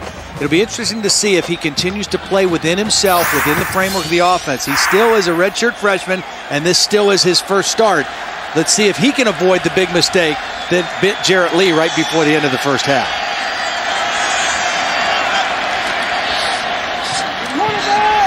Garcia will keep after the play fake. Flag is down. He's knocked out of bounds at the 25 yard line and ends up going into one of the sideline officials. And we'll check out the flag. Thrown in the area was normally holding, and that's the signal.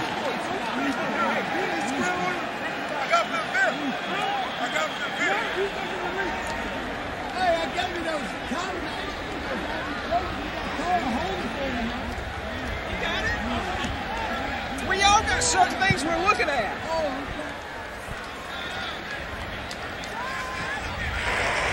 During the run, holding, number 84 offense, 10 yard penalty, replay first down.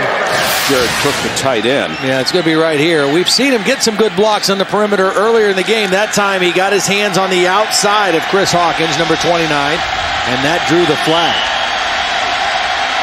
One of the problems that it's obvious that South Carolina is going to have if the running backs don't get more yardage, those play action fakes from the quarterback Garcia are not going to be respected. He's going to be a much easier target. So some of his teammates have to step up a little bit for him. Absolutely. And he uh, he's only going to be able to take so many hits. As we take a look at his pass chart tonight, kind of interesting when you look at it because most of his deep damage has been on the right side, but he's been very effective in the short to medium passes on the left side. So uh, kind of balancing it out, left and right, short and deep.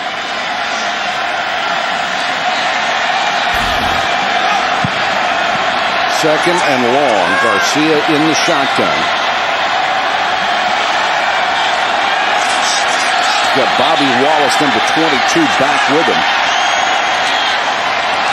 Pressure coming. Garcia keeps the play alive, taken down at the 12. Flag down, looked like a face mask. Or was it a horse collar? Well, whatever it is, if it's against LSU, it's a costly penalty because they've really got South Carolina backed up. Nice job of pressuring Garcia.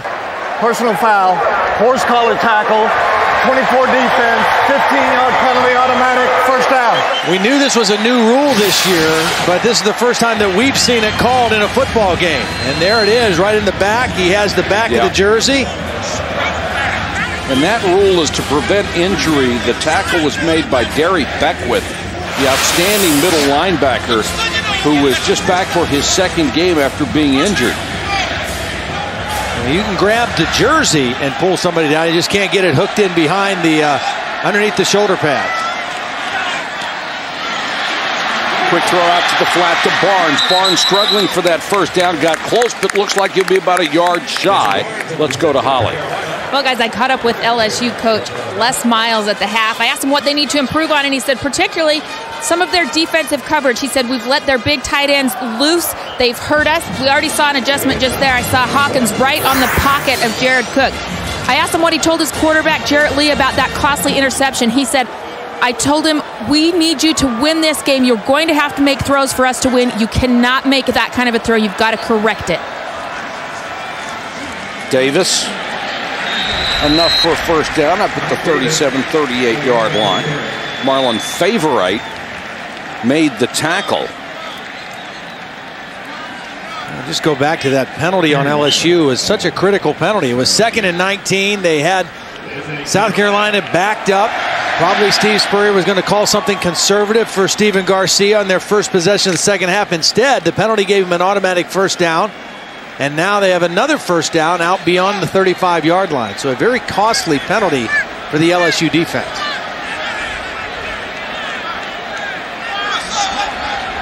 Redshirt freshman changing plays. Garcia making the first start of his career and doing brilliantly. Cook stays in bound, fights for extra yardage, ends up picking up seven before he's brought down by Harry Coleman. The fourth catch of the night for the 240 pound tight end. And his 30th catch on the season, the leading receiver for the South Carolina team. And it's been the same route. The short crossing route right in front of the face of the quarterback, Garcia. And every time Garcia has hit him in stride where he can catch it and continue to run and turn it upfield.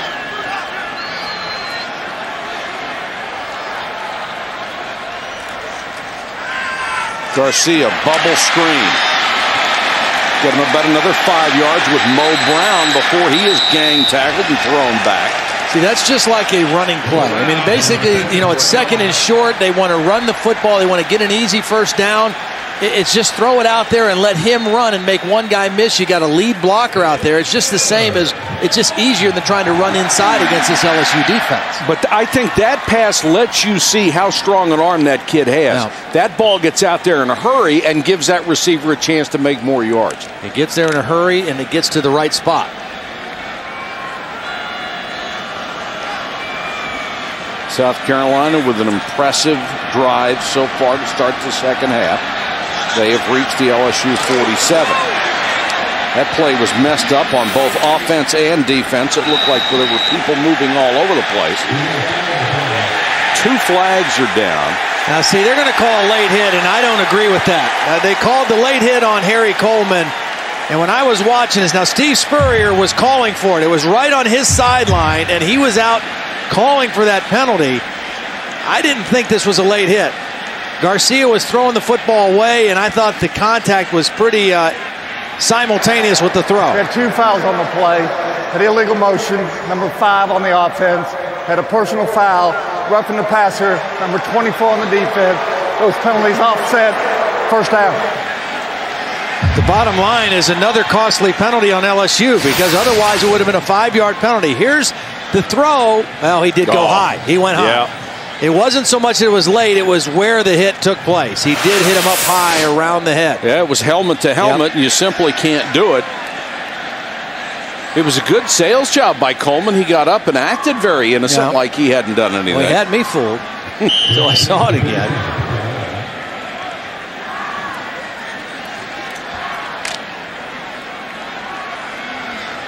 So it's first and 10 all over again. I really think they need to look at that rule, too. Motion penalty for five yards and a roughing the quarterback penalty should not offset each other. See, that's why you see after that play, they run it on first down inside, they gain nothing. One yard, maybe. That's why you're seeing a lot of these quick screens. Garcia getting the ball out there quickly to a receiver with one blocker in front. That's more effective than trying to run the ball inside. Sure. In the NFL, by the way, they do not offset a minor and a major penalty against each other. They enforce the major.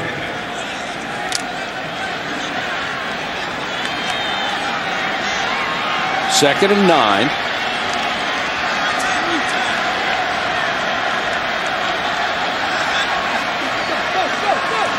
Garcia rolling the pocket under a lot of pressure, cuts it upfield. Ball's loose. They Lost ripped it out on him. They ripped it out on him. He, he was carrying the football, and they really went in there and ripped the football out of Garcia's arm. And he's still down. Perry Riley with the recovery.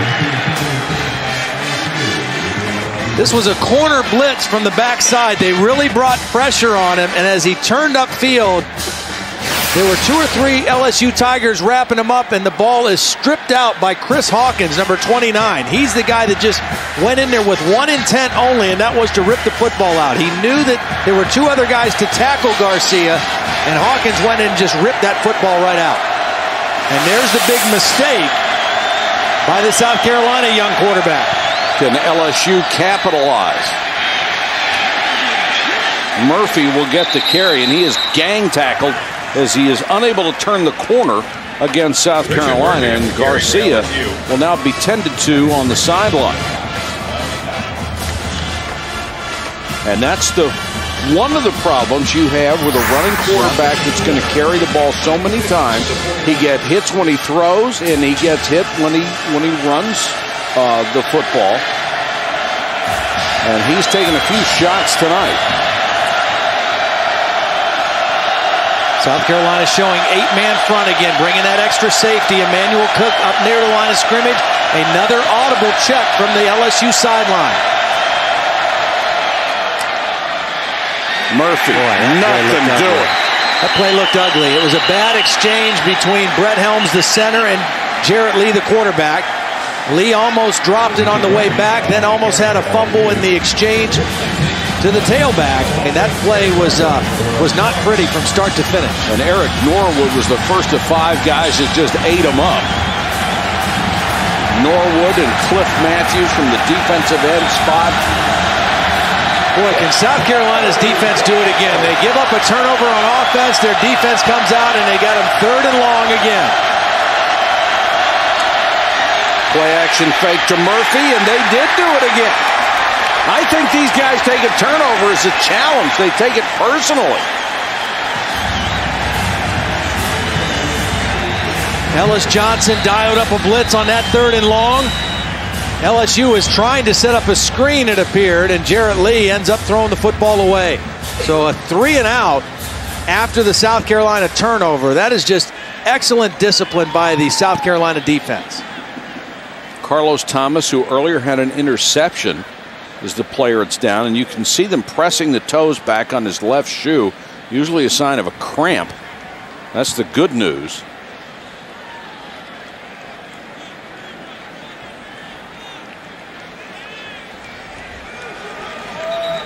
Holly Rowe, what do you have?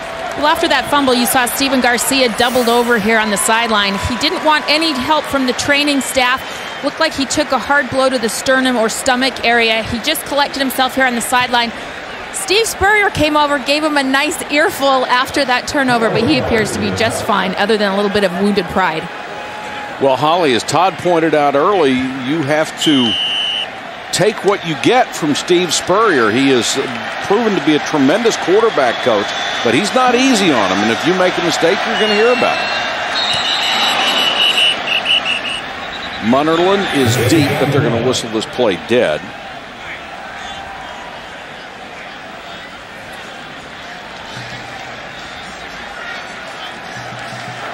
Prior to the snap, false start, 44, offense, five-yard penalty, remains full time. And Thomas being assisted to the locker room, possibly for an IV. That's about the only thing you can do in a locker room to help him get rid of cramps. High snap, but he brought it back down, and a nice high floating punt. Munnerlyn backs up and makes the fair catch at the 10. 47 yard kick and no return. Think you know all about Steve Spurrier? Find out when we come back and play Did You Know? Let's remember this time where none of us felt secure and fight for a future where everyone can. Because when the world seems like it's standing still, that's the perfect time for us to change it. Tonight's the night for delicious tortilla bowls with flat bottoms. Easy to fill, easy to eat. Only from Old El Paso. This football season, buy three participating items and save $20 off Fanatics gear at WeAreTailgateNation.com. You did this and this for less with store-wide Labor Day savings and free delivery. The Home Depot is making do it even more affordable. So the only question now is what could you do next? The Home Depot. How doers get more done. It's not just the ships, the armor, or aircraft. It's the will to fight and determination to win found inside every Marine. Battles won.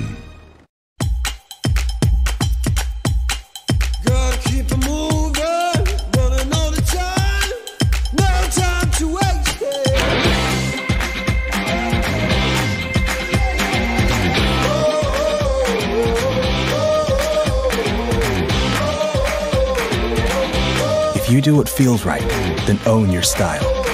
Philips One Blade, your style made simple. There's always a way to make life better. Philips. This telecast is available in high definition. Brought to you by Pioneer's new Kuro.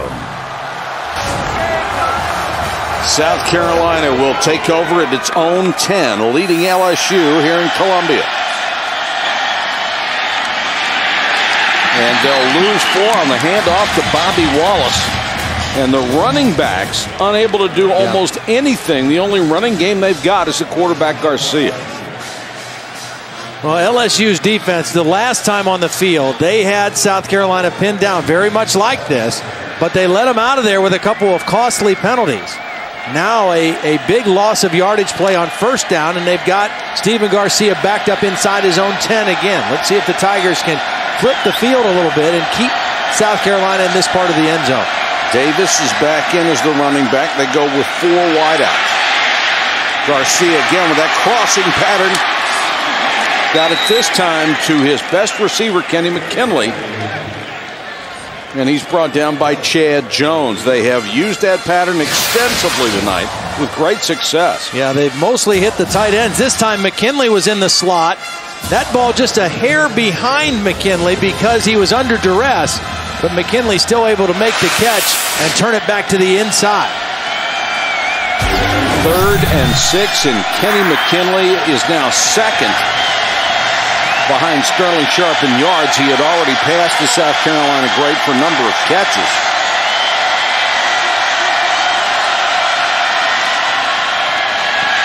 Garcia under pressure throws wide this time, intended for Barnes.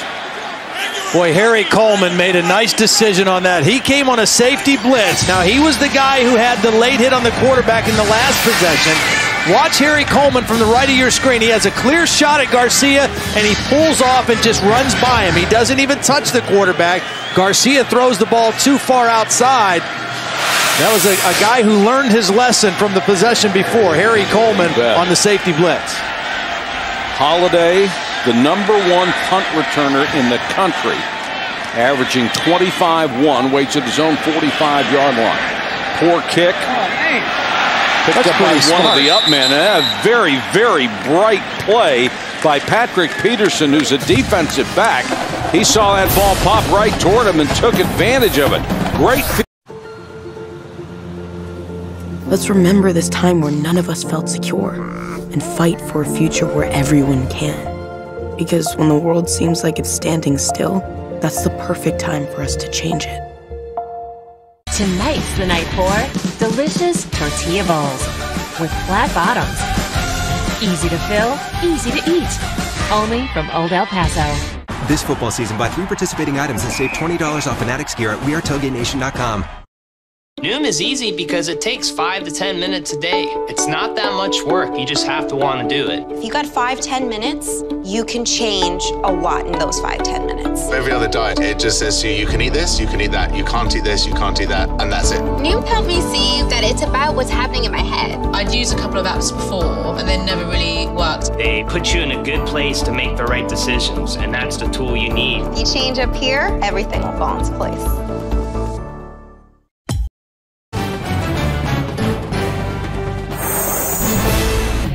ESPN's College Football Primetime, brought to you by Liberty Mutual Insurance. Vote now at coachoftheyear.com and Mercury and your local Lincoln Mercury dealers. South Carolina State Fair going on at the same time as our ball game. First time in 31 years they've had a night game while the fair was going on. One of the things you can get there, deep fried Pepsi. Boy, that should be on Taste of the Town when we get back to South Carolina. You ever had deep fried? You've No. had deep fried everything else. No, I like Pepsi, but I like mine cold and on with lots of ice, not fried. Oh, you got to try it fried. Mm. A little gravy on it, nothing like it.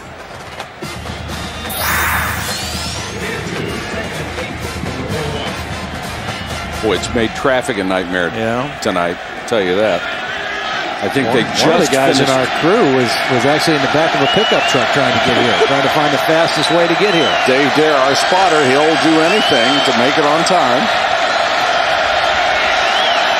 Lee in the shotgun. Four-man rush, a little swing, and look at that coverage by South Carolina. They got it out to Keiland Williams. There were three defenders there, led by Norwood, and then the middle linebacker Jasper Brinkley got out there. What a diagnosis they made on this Yeah, play. I mean, they read it right away. Did you see Norwood? He took about three steps towards the quarterback Jeez. and then just peeled and made a beeline right for the receiver. They read it all the way. And this South Carolina defense, I'll tell you what, they're for real. Ellis Johnson, his first year of the defensive coordinator, has done a marvelous job with this defense. I've never seen a screen covered quite that well. Lee with a receiver deep. Oh my goodness. Drop. Demetrius Byrd had a step and he couldn't hold it. Culliver and Munnerlyn were back on the coverage for South Carolina, but they were behind. Yeah, Demetrius Byrd ran right in between them, just split the defenders, and it's another beautiful throw by Jarrett Lee. And at the very end, Chris Culliver, number 17, is able to grab the arm of Demetrius Byrd mm. and not allow Byrd to pull the football in. We've seen two deep throws by Jarrett Lee that have been perfect. One in the first half that Brandon LaFell dropped on a third and long. That was third and long, and Demetrius Byrd not able to, to bring it in. Byrd is down. Munnerlyn is down. Culliver wouldn't even be here in a South Carolina uniform if he hadn't originally committed to North Carolina State, and then Chuck Amato was fired. He decided he was not going to go to NC State. He would sign with South Carolina. And it looks like Munnerlyn has come up with cramps as well, and now Byrd is up. Let's remember this time where none of us felt secure and fight for a future where everyone can. Because when the world seems like it's standing still, that's the perfect time for us to change it. Tonight's the night for delicious tortilla bowls with flat bottoms. Easy to fill, easy to eat. Only from Old El Paso. This football season, buy three participating items and save $20 off Fanatics gear at WeAreTailgateNation.com. For a while, I've had like a kind of negative self-image there's like this contrast between like the way that I was thinking about my personality and the way that I was thinking about my body. With Noom, I was able to learn how to interrupt those habits and create new ones. So my goal was 35 pounds, and I'm, I've lost about 30 pounds now. So I've never been this confident in my body. My name is Sarah, and I changed my life with Noom. Visit Noom.com and lose the weight for good. Football Prime Time presented by Hampton Hotel, South Carolina with the lead. Late third quarter, LSU punting it away. And Akeem Auguste is back to receive. Captain Munnerlyn, with cramps, has gone to the locker room. Fair catch made, and again, South Carolina will start at the 10 yard line. Did you know that when Steve Spurrier got his Heisman Trophy in 1966, he immediately gave it to University President Dr. J. Wayne Reitz so the award could be shared by the Florida students and faculty. That gesture was so moving that Florida student government raised money to purchase a replacement for Spurrier. From that time forward, the Downtown Athletic Club has issued two trophies, one to the individual winner and one to the school. And that's what one of the things that makes Steve Spurrier so unique. Normally, people who were really good at what they do, and he was a great college quarterback, are not good coaches because they don't understand the mechanics of what they did. They just did it. But Steve Spurrier is an exception. Keep it on the ground. Davis trying to get a couple of yards, and that's all he does get. Catrera makes the tackle. Spurrier won his national title at the University of Florida, along with seven Southeastern Conference titles. Was a multiple SEC Coach of the Year and fourth most in wins in the Southeastern Conference with 100. What a program he had at the University of Florida, and he is trying to replicate it here at South Carolina. Garcia short set, he's in trouble. That was a brilliant individual effort by Trumaine Johnson. He actually appeared to leap yep. over the blocker he was guessed, able to get up and make the stop. Yeah, he guessed on the snap count, so he just beat him off the football immediately. I think that was Terrence Campbell, number 60, trying to block him, but he he jumped over the line of scrimmage, got up, and then still got to the quarterback for the sack. An exceptional individual effort. Well, again, here's where Garcia needs to be smart with the football. Your defense is playing great. You're backed up in your own end. Don't force something if it's not there. Draw play. Davis spins off a tackler. Back to the original line of scrimmage plus one. They'll have to kick from there. LSU's defense here in the second half looks a lot different than they did in the first half. I mean, they are more aggressive. They're going after Stephen Garcia. They've, they've really shut down any running game that South Carolina has had. They're yeah, going to get really good field position. Up, yep, they? they have. And I, I, would expect we'll see Andrew Hatch in this possession for LSU. They're going to have good field position. And one thing they've done pretty well tonight is run the option with Andrew Hatch. I expect to see it this offensive set. South Carolina's running backs have gained only 19 yards tonight. Trindon Holliday driven back to his 39. This kid with the blinding speed and the NCAA's best average, but not this time. He returns at eight yards after a punt of 50, and we'll check in with Rece Davis.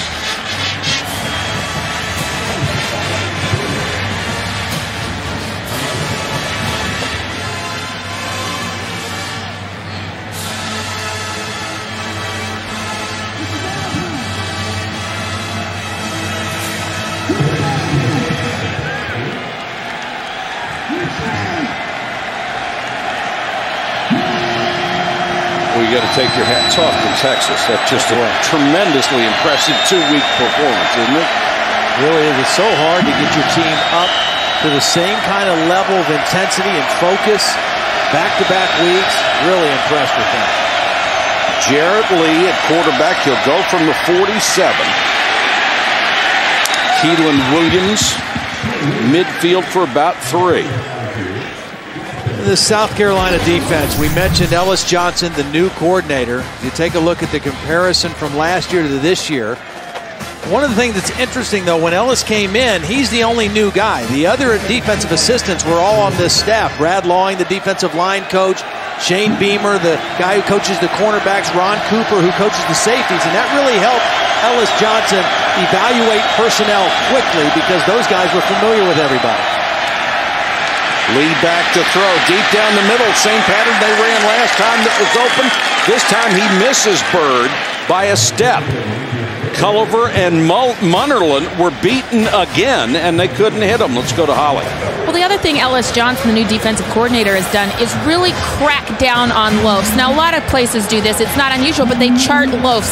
That means not running to the football, but he takes it a little bit farther. He wants an all-out sprint to the football, not just jogging. He said their first scrimmage, they had 67 loafs. The second, they were down to 37, and now it's about 10 per game. Guys, they got his message. You better fly to the ball. Yeah, Holly, they've been flying tonight. And Addison Williams was on coverage on that last play and not Captain Munnerlyn. Munnerlyn was uh, still in the locker room being treated for cramps. This pass completed to Dickson, the tight end, and he's got the first down. Yeah, this is a nice read by Jarrett Lee. The first time we've called Dickson's name tonight, it's a blitz. He gets right in between the linebackers, and Jarrett Lee finds him for the first down.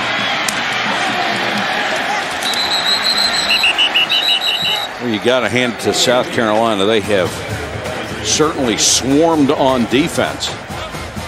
LSU comes in with only one loss. They were knocked off by Florida last week by 30. South Carolina has overcome a slow start to go 5 and 2, and this would be a huge win for them, particularly since they're starting their redshirt freshman quarterback for the first time. It would give them momentum for the rest of the year. LSU, as the defending national champion, really wants to win this game and not drop their second of the season. And they'll blow this one dead as Lee went back to throw. Prior to the snap, false start, 78, offense. Five-yard penalty, second down. Joseph Barksdale, their right tackle, moved early. One thing that South Carolina is doing in this game quite a bit is they're bringing that extra safety down into the uh, line of scrimmage area very late.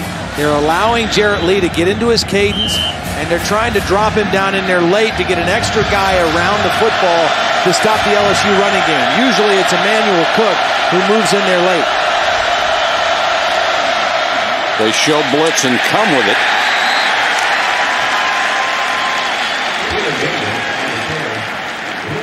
Tackle made by Jordan Lindsay, the defensive end, the twin brother of Dustin Lindsay, the linebacker. Second set of twins they have had here recently playing defense. Casper and Jasper Brinkley were the others.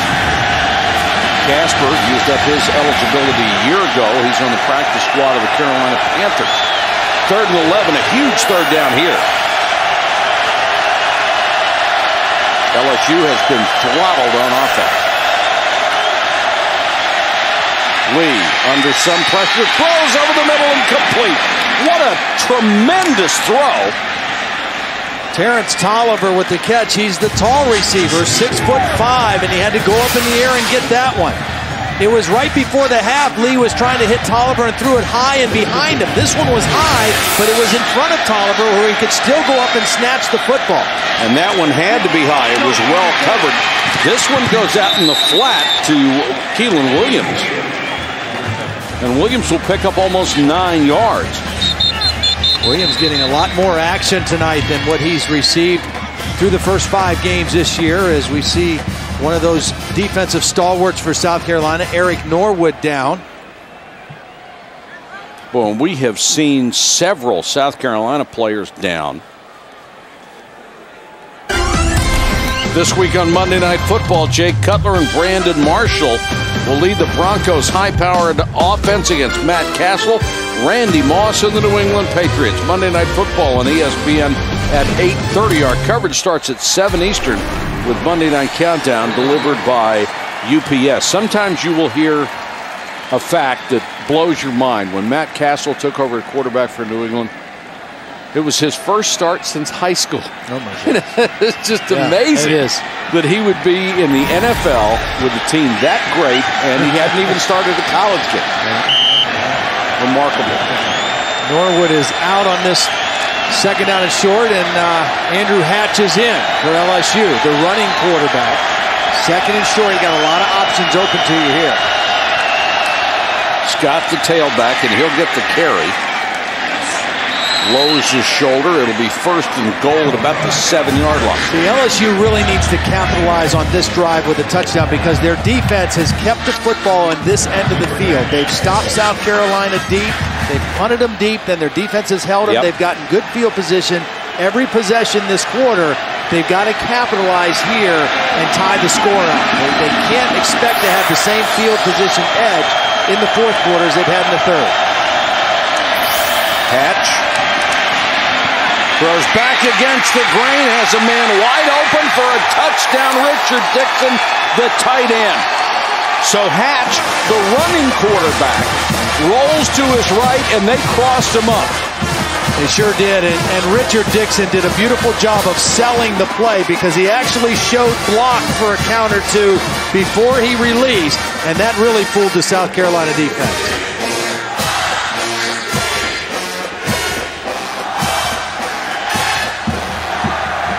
Well, Hatch showed you he is not a one-dimensional quarterback. The extra point by Colt David is good. And we have a tie ball game, 17-17, with 44 seconds to go in the third quarter.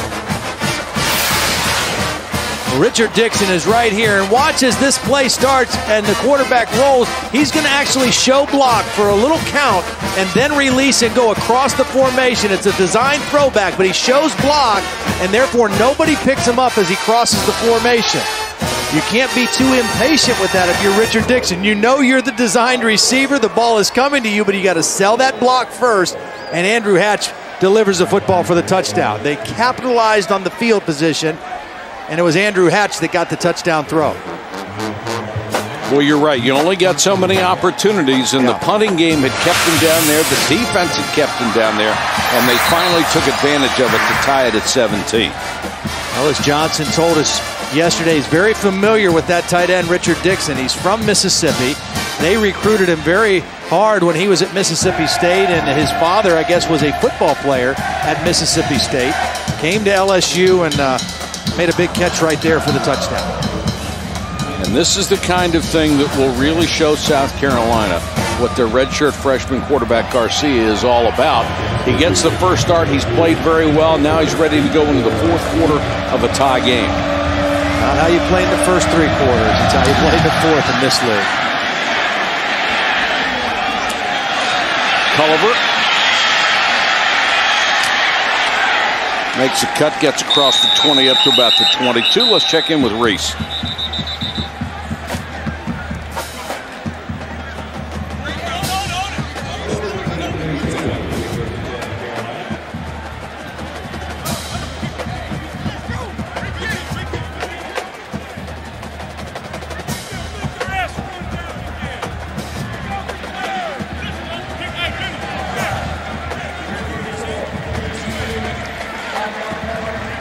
Interesting that the Brewers are saying they're going to make an offer for CC Sabathia, who will be a free agent. They had it was almost a rent a starter deal down the stretch. It was thought they could not afford to uh, even be in competition to re-sign him, but apparently he had such a terrific time with the Milwaukee Brewers that he's thinking about it. Uh, LSU was offside, so they will re-kick here.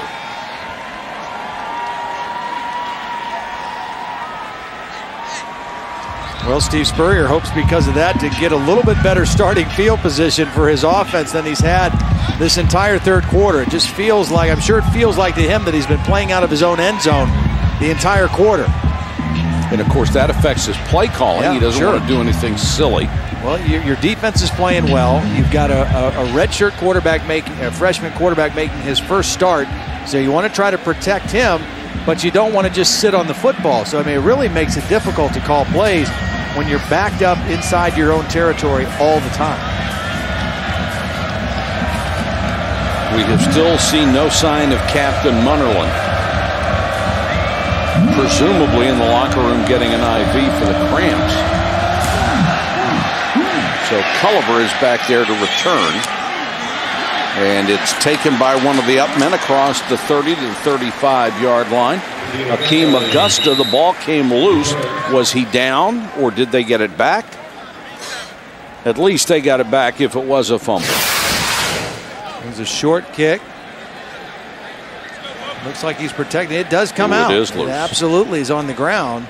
And it was another guy that was able to, to fall on it Patrick for South Peterson. Carolina. No, Chris uh, Addison Williams, yes, a backup cornerback, in on the uh, kickoff return team, and smartly falls on the football. Very, very fortunate for South Carolina.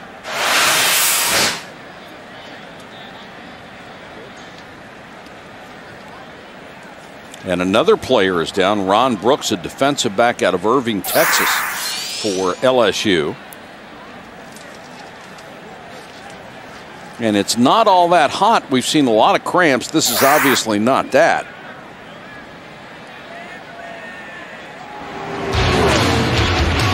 Tomorrow afternoon on ABC, the chase for the Cup continues. Jeff Burton tries to carry the momentum from his win last week to Martinsville. Chase for the NASCAR Sprint Cup at Martinsville tomorrow on ABC. Our coverage begins with NASCAR Countdown at 1 o'clock Eastern. Still pretty tight among the top three at least. Burton and Biffle certainly with legitimate shots at it. I guess this guy, Carl Edwards, is a big Missouri Tiger fan.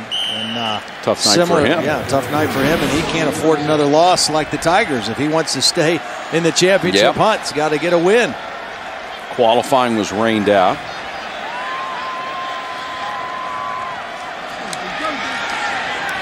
Garcia sets in the pocket, throws, has this complete. That's a good matchup for South Carolina. Jared Cook working on Jai Eugene. 5'11 corner working against 6'5 tight end. That's a that's a good place for Stephen Garcia to go with the football. And quickly back to the line of scrimmage. They have a chance to get off another play. See what Garcia's doing. That's another thing Spurrier likes. He likes that Garcia is confident enough to, to look over, to see for changes and audibles when Steve wants to change the play. He likes when his quarterbacks will do that. And Garcia, not afraid to look over and change the play at all. Davis across midfield, just into LSU territory as we come to the end of three quarters. We're tied at 17.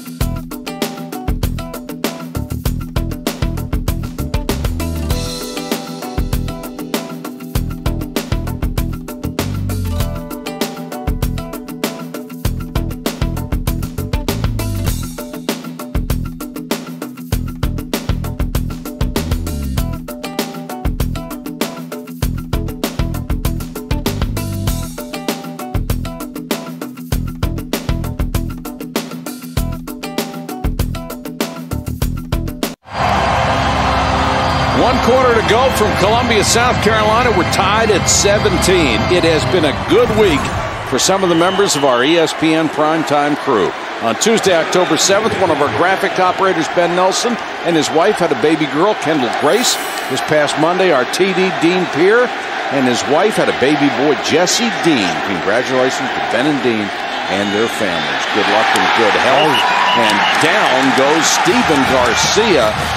Rahim Alem from his defensive end spot for the fifth LSU sack of the night. Well, here he is. He's going to come on an inside stunt. Tyson Jackson's going to go outside, and they really mix up the offensive front for South Carolina. Nobody picks him up, and he gets right to the quarterback. He's very quick off the football, but credit Tyson Jackson and his quickness going outside that really set up the inside move for the sack. That really puts him in a hole. Third and 19, and South Carolina has given up 29 sacks, the most in the football bowl subdivision. Garcia pressured, somehow got away, and Oh, man, throws wide on the open. run. Man, wide open, and it's dropped at the 30. They left the receiver when the quarterback scrambled for some reason. Oh. Jai Eugene, the quarterback, left his man. Kenny McKinley falling, couldn't catch it. Garcia looks like he's going to run all the way at the last minute. He sees McKinley because Eugene had left him and was running towards the quarterback for some unknown reason. Watch Eugene. You never leave your guy there. The quarterback hasn't crossed the line of scrimmage. There's nobody there if McKinley can make this catch. Oh, and it's a tough throw because Yeah. he's running to his left, threw off the wrong foot, but he got it there. McKinley trying to come back and get it, just couldn't make the catch. Jones is back inside his 15 on the punt, trying to find the seam, gets back across the 20. Return of seven after a punt of 46. What a game changer that could have been. Hatch and Lee split time at quarterback throughout this season for LSU, and now Lee has been named the starter. They got out quickly, 4 0, ranked as high as number four, and then they were thumped at Florida, 51 to 21. Their worst loss in six years. The Gators jumped on them early. The defense ranked ninth in the SEC this year. They were third in the entire country a season ago.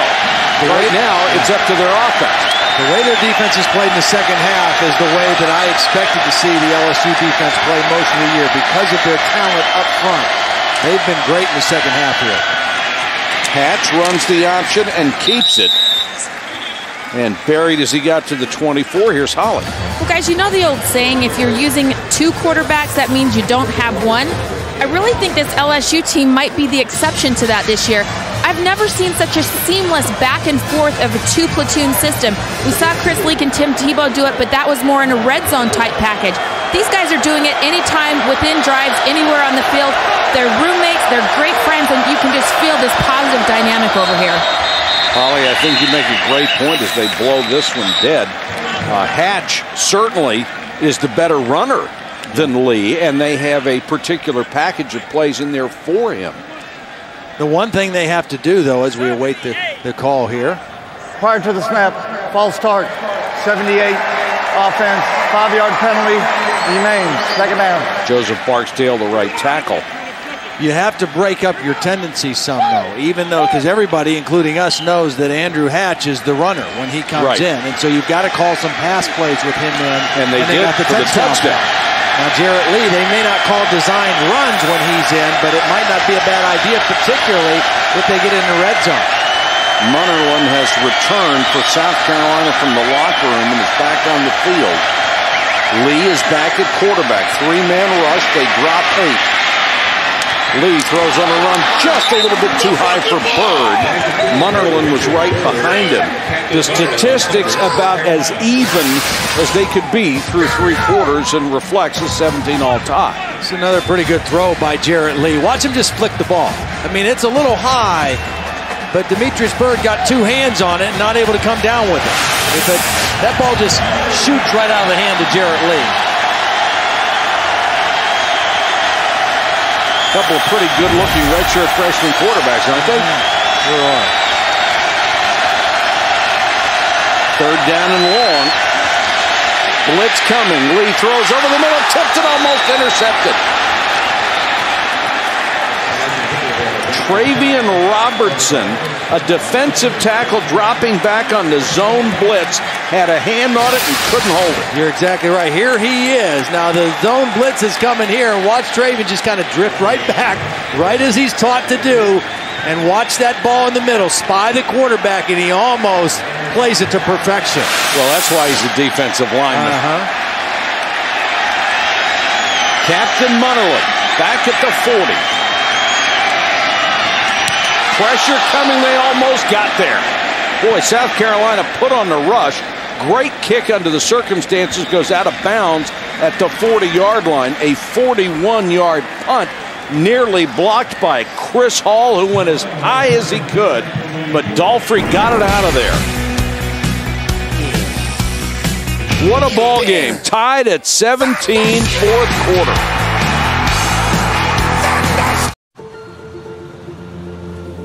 Let's remember this time where none of us felt secure and fight for a future where everyone can. Because when the world seems like it's standing still, that's the perfect time for us to change it.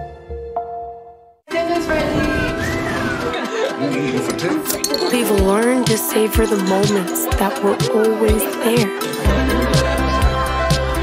And they never tasted this good. It's not just the ships, the armor, or aircraft. It's the will to fight and determination to win found inside every Marine. Battles won. The difficult part for me was starting. I've lost about 20 pounds, which blows my mind. The psychology aspect of Noom was different than I'd ever seen before. Noom helped me make a couple of lifestyle changes that made achieving that goal very easy. It's Telecast is available in high definition. Brought to you by Pioneer's new Kuro. Welcome back to Columbia, South Carolina. Quite a ball game. 17 all. Steve Spurrier wanting his Gamecocks to get some points. Garcia airs it out and wide of Kenny McKinley. Garcia pass. Darry Beckwith, the middle linebacker, has been sitting out lately. The young man who came back from a knee injury last week, and they have been trying to keep the fluid out of that knee. Had to drain it earlier this week. Well, they, they really admired his courage last week. Felt he maybe came back a week too early last week. He was injured September the 13th, and he missed a few games. He wanted to play last week against Florida. He's not back 100% and out of the ball game right now. He is a very talented player. This ball caught at midfield as McKinley goes down. The LSU players contending it was incomplete. Well, this was close to being a trap. It was a low throw. Look at that ball nose down. Mm. McKinley got his hands under there. Wow. Well, that's another close one. If the ball touches the ground by rule, it's incomplete. Well, McKinley did an outstanding job. He had both hands together underneath that football. I'm not sure the ball did hit the ground.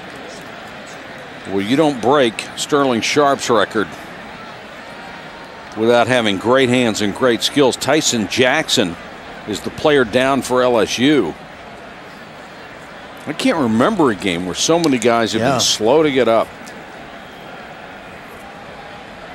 Two very physical football teams. It's not a hot evening. It's very cool out there this evening, but uh, two very physical teams. We've seen some guys with cramps. We've seen some guys with more significant bumps and bruises. Jackson up and able to leave the field under his own steam. Came into the ball game the team leader with two and a half sacks, added two more tonight.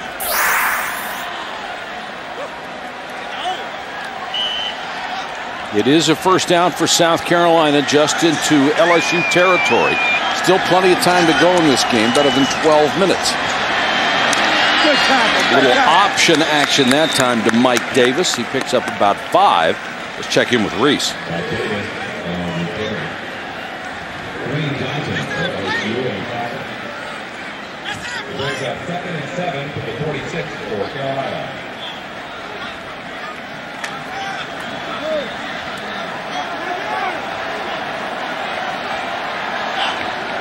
Well, I tell you, I have always liked the way Rich Brooks yep. coached college, pro, whatever. Big win for Kentucky, and they'll blow this one dead. It looked like it was the right tackle, Justin Sorensen, who moved early. Prior to the snap, false start, 78. Offense, five yard penalty, second down. Only the second penalty against South Carolina tonight. Holly, what do you have? Well, Tyson Jackson's right shoulder is a problem right now. He's just trying to move that arm around in a windmill like motion, just got it stretched out. Looks like he will be able to return to play. Great news for LSU if he can come back. Preseason first team All SEC defensive end. Second and 12 for Stephen Garcia, the redshirt freshman out of Tampa. Throws that crossing, Patty Davis let it go through his hand, nearly intercepted. And right down on top of the grass, Perry Riley, number 56, trying to sell the official on the idea that he did pick it, but nobody's buying. Garcia looks a little more rattled here in this second half than he did there in the second quarter. He's not setting his feet quite as much. He's not throwing quite as accurate. That one a little bit behind. Yeah, but as a quarterback, yeah. you got to have somebody catch that one, yeah. don't you? Yeah, you do. Now third and 12. LSU crowding the line of scrimmage. Got eight men up there. They with a lot of them, and Garcia is going to be buried all the way back at the 35. Curtis Taylor and Harry Coleman, safeties, yeah. came right up the guard center gaps and Garcia didn't have a chance. Yeah, here they are, both of them. They get in, in right there, right in between. They're bringing all out pressure, playing man to man. And they're just saying, we believe we'll get to the quarterback before he can find an open man to throw it to, and they bet right. Mike Davis, the tailback, had a choice. He got yeah. one. You can't get both. Landing to punt to Chad Jones, signals fair catch and makes it at the 17 yard line. 45 yard kick, no return. LSU will take over. We're still tied at 17.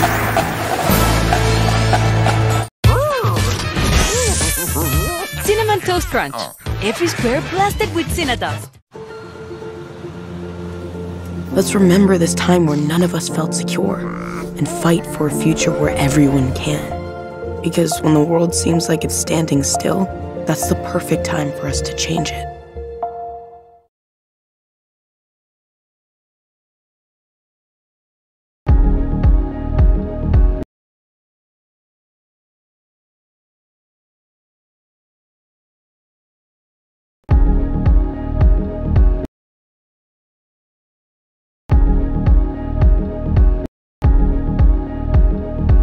I always thought it was me, that I was the reason all these diets never worked. This is genuinely not a temporary fix. There's some serious psychology behind it. It's funny how much smarter I feel like Noom has made me. It, it's the simple things. Once I understood why I was making those choices, it was easy for me to change those habits, and weight loss came naturally after that. I've been on Noom for four months now. I've lost 27 pounds, and I feel like I got my life back. Visit Noom.com and lose the weight for good.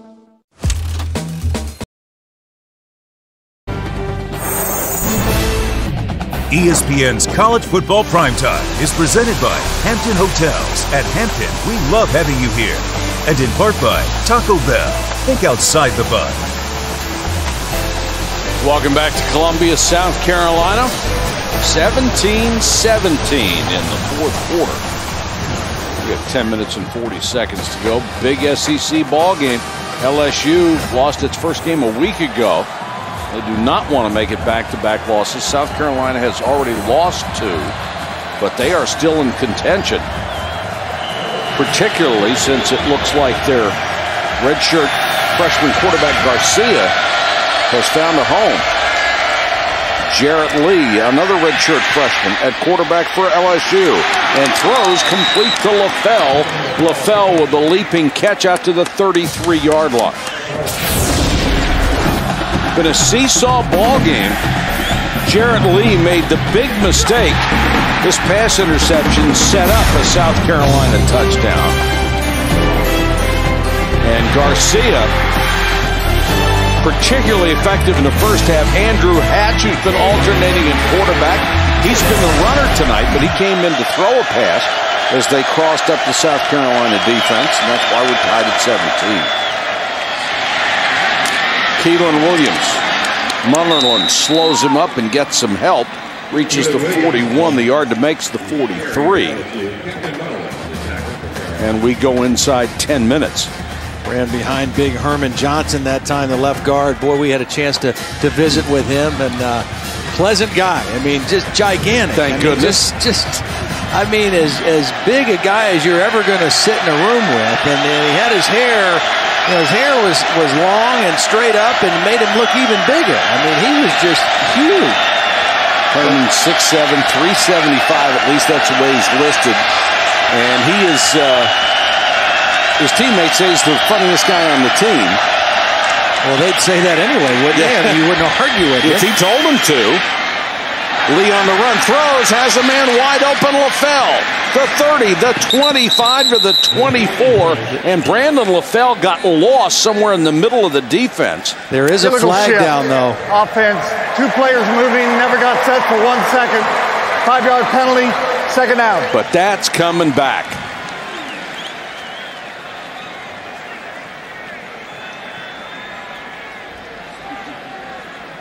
You can't give up big plays like that.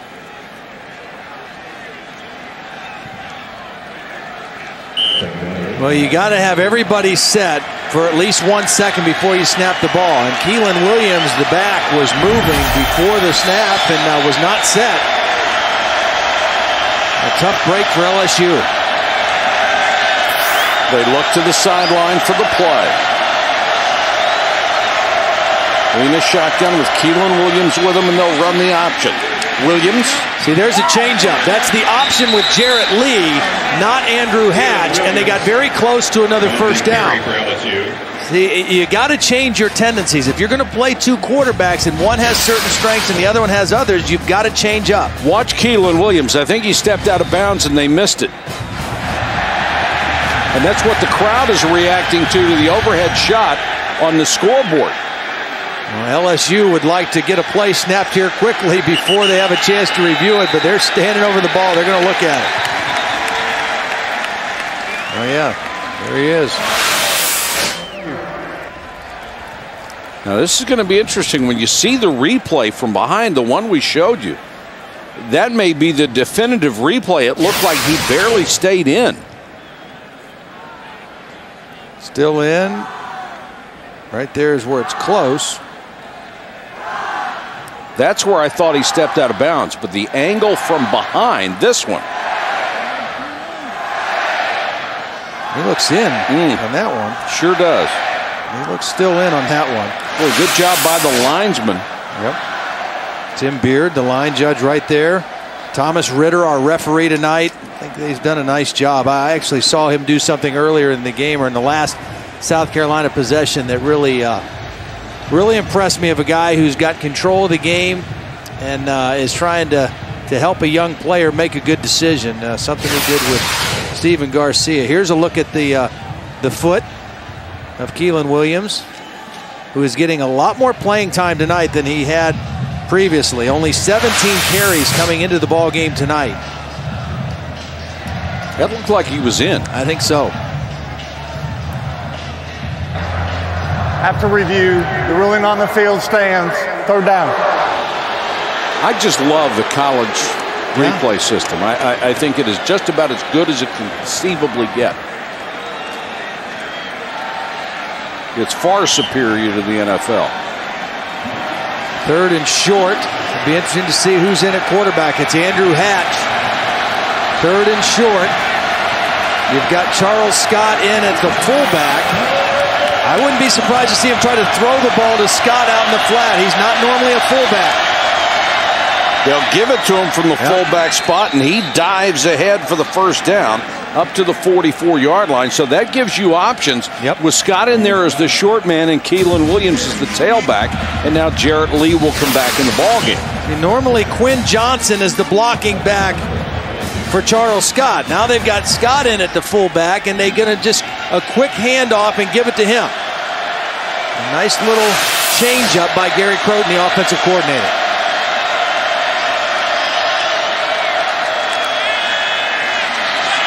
Lee with time intended for Byrd, and Byrd makes the catch inside the 20. They've run that same pattern three times. They finally hit it. Three times, and two of the three have been perfect throws by Jarrett Lee. And the last time, Demetrius Byrd comes down with it. He splits the corner and the safety, and Lee throws it out there for him, and Demetrius Byrd. how many times you see a receiver go up in the air? The, the, the cornerback stays on the ground, the receiver goes up and catches it at the height of his jump and comes down with a big play. Addison Williams did not make much of a play on the ball, never got off his feet to challenge. And it's a first down for LSU at the 20. Keiland Williams, the tailback, he gets the carry. Five, eight, nine yards. Holly, what do you have? Well, guys, Carlos Thomas has been over here on the sideline with cramps. He went into the locker room, apparently got an IV. His backup in there just gave up that big play. The coach, uh, Ron Cooper, the safeties coach, just turned to him and said, Are you okay? Can you go in there? And he said, Yeah, I can. They haven't put him in yet, but not having him in there, he's really their sturdy guy back there. That's hurt them right now. And here's where you need your best guys at any position last seven minutes of the ball game. LSU driving, second about a yard and a half. Williams again needs to make the 10. He's just shy of it. Marvin Sapp, number 53, who backs up the terrific Eric Norwood at linebacker, made that tackle. You mentioned Carlos Thomas not being in the ball game right now as, as kind of a third corner. Captain Munnerlyn not in the ball game either. The one thing I like that LSU has done is the way they've used Charles Scott and Keiland Williams tonight, kind of sharing the carries. They have both been fresh the entire football game. Both guys running hard with the ball. Third and very short. Scott, first down easily inside the five. See, that's a that's fresh legs. That that's a burst by Charles Scott here with six minutes left in the game. That if he had carried the ball 30 times to this point, maybe wouldn't have this burst. But they're splitting carries with he and Keiland Williams, and he hit that hole quickly with a whole head of steam. And Emanuel Cook got buried as he made the tackle. Clock running under six minutes to go. LSU has eaten up a lot of time, and now they're, if nothing else, in chip shot field goal territory. But they're looking for seven. Yeah, and they're looking to use as much clock as they can yeah. and then stick it in the end zone. Hatch on the option. Nothing this time. That was a nice play by Ladi Ajiboye. Number 91 got penetration in the backfield and really bottled that thing up. He is considered their best down defensive lineman. 6'1", just about 300 pounds, and he got excellent penetration that time. And Andrew Hatch, to his credit, you know, there's an old adage when you're running the option, when in doubt, don't pitch it out. And uh, he didn't. He held on to the football even though they weren't able to gain any yardage. Lee is back in on second and goal. Lee to throw. Middle screen, Keiland Williams. Boy, and South Carolina's defense recovered beautifully. That play looked like it was good for a touchdown. They had three LSU receivers out to the left. They made it look like they were throwing it wide. Again, it was Ajiboye who got in there and just kind of affected the throw a little bit. And then you see the quick pursuit by the South Carolina defense. And these guys can tackle. Yeah, they can. And they like to hit. I mean, they really do. You watch them on film, all of them. Third and goal. All of them like to hit. Drive so far has gone 81 yards. Hatch is back in. Hands to Scott. Touchdown.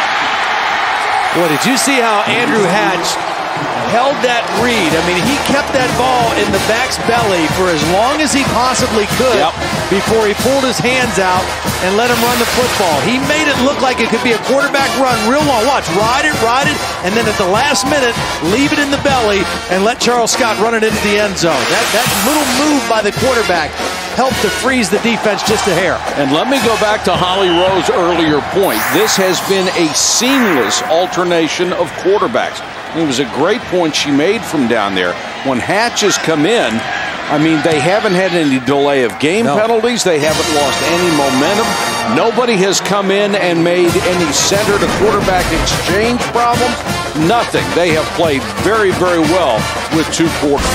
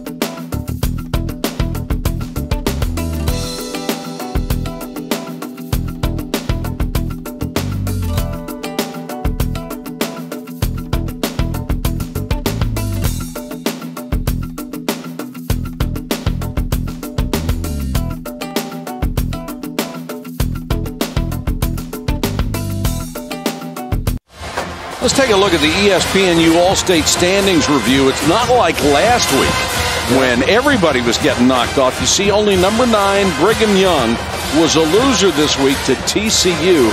The BCS standings, the first one comes out Yeah. tomorrow, and it will more than likely reflect Texas, Alabama, Penn State, one, two, three. And you know what's interesting? The last time Texas, Alabama, and Penn State were simultaneously ranked in the top five was the preseason poll of 1979.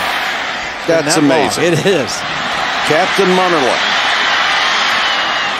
Up to the 33 yard line. They will start from there. There's plenty of time for South Carolina. They have all three timeouts and 410 to go, so they can run anything on offense they want. They can afford to be very patient, but they do need a touchdown. Look at the yardage for South Carolina in the second half. Only 42 yards. Part of that is uh, their inability to run the football with any kind of success, and then LSU's defense really turned it up in the second half. And they played much differently than they did the first half. The last 16 yards, South Carolina's gained only 11. Oh, what a shot. Mike Davis is just creamed by Kelvin Sheppard. But it starts with the pressure up front. I mean, the pressure, the pocket collapsed so quickly on Stephen Garcia, the rush by Abdallah, and they're right Oh. there. Alem with, in with the, the pressure. Tyson Jackson getting after the quarterback. It's an incomplete pass, so it's second and 10. It was fortunate he didn't catch it. They would have lost four. Now they're going to blow this play dead. There was movement up front. Who won?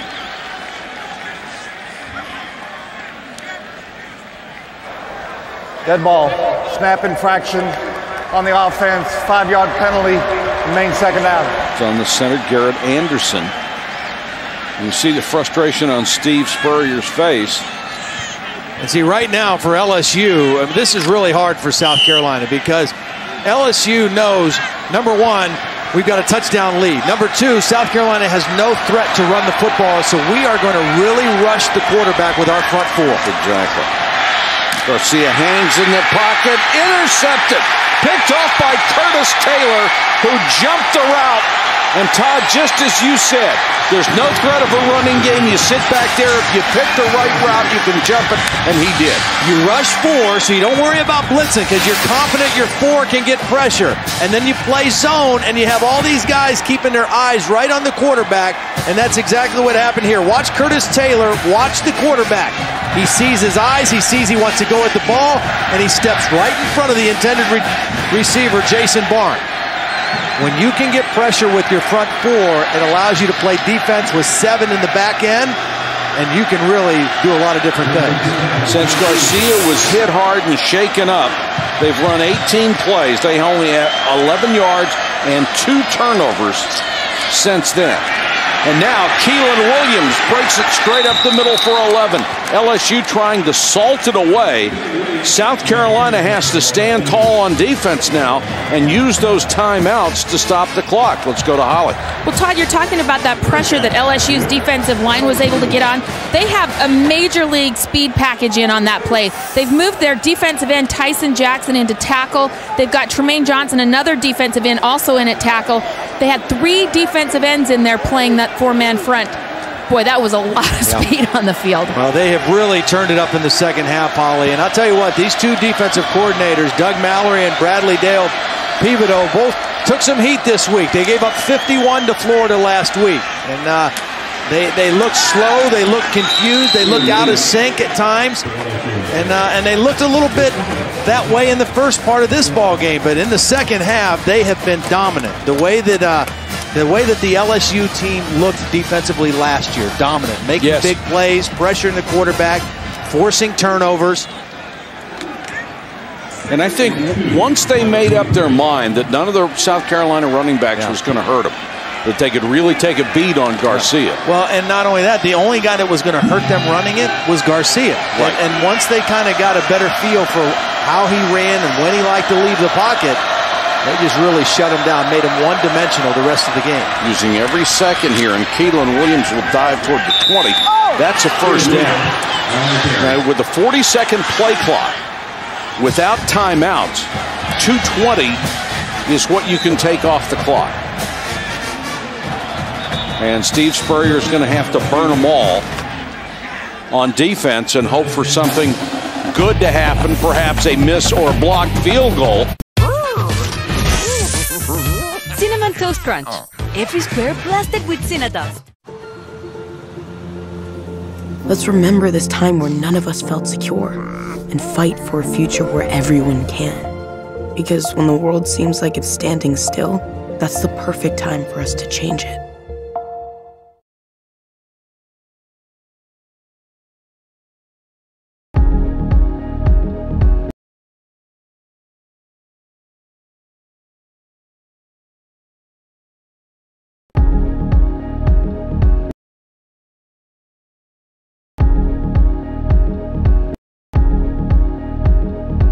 For a while and have had like a kind of negative self-image. There's like this contrast between like the way that I was thinking about my personality and the way that I was thinking about my body. With Noom, I was able to learn how to interrupt those habits and create new ones. So my goal was 35 pounds, and I'm, I've lost about 30 pounds now. So I've never been this confident in my body. My name is Sarah, and I changed my life with Noom. Visit Noom.com and lose the weight for good. This isn't the shake up at the BCS. Doubt it. Do or die for Boston and the Cowboys. Talk Romo. Better than talking Tio. Yeah. Had just or about Ocho. enough. Tio or yeah. Ocho? No, I, I can go for Ocho. Tio, I've just had enough. enough is enough. South Carolina with two timeouts left, and they're going to have to use them on defense. They found something in the middle there with Scott. He's been able to lower that shoulder and burrow for five, six, seven, eight yards every time he's touched it in the fourth quarter.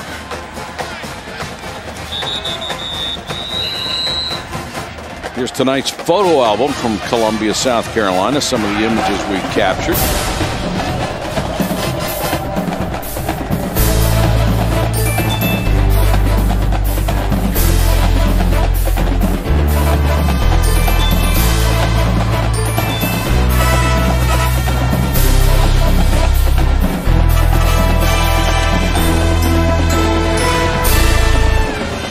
Quite a comeback for LSU, actually. It looked like South Carolina had uh, all the momentum, everything going for it, including uh, a big home crowd, but LSU has stood up. And now, with only one timeout left, South Carolina will only be able to stop it after this uh, after this play. And LSU, its remaining schedule: Georgia next week, then Tulane, number two, Alabama against LSU. That'll be a good one. Then Troy, Ole Miss, and Arkansas. So LSU still has a chance to rack up a great record this year. Hatch is back in. Second down, call it six.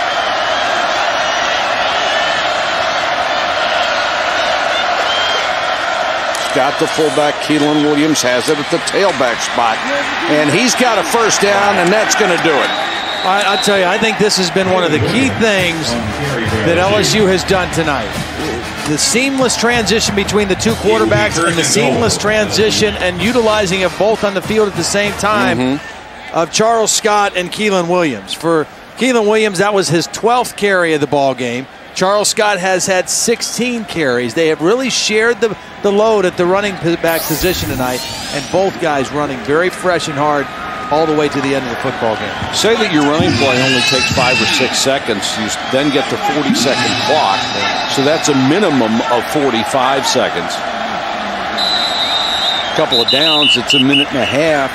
Three downs, it's 215. Well, Les Miles, it looks, is going to do it again. I mean, uh, LSU under Les Miles was 6 0 after a loss coming into tonight's ball game. It looks like they are going to move that to 7 0.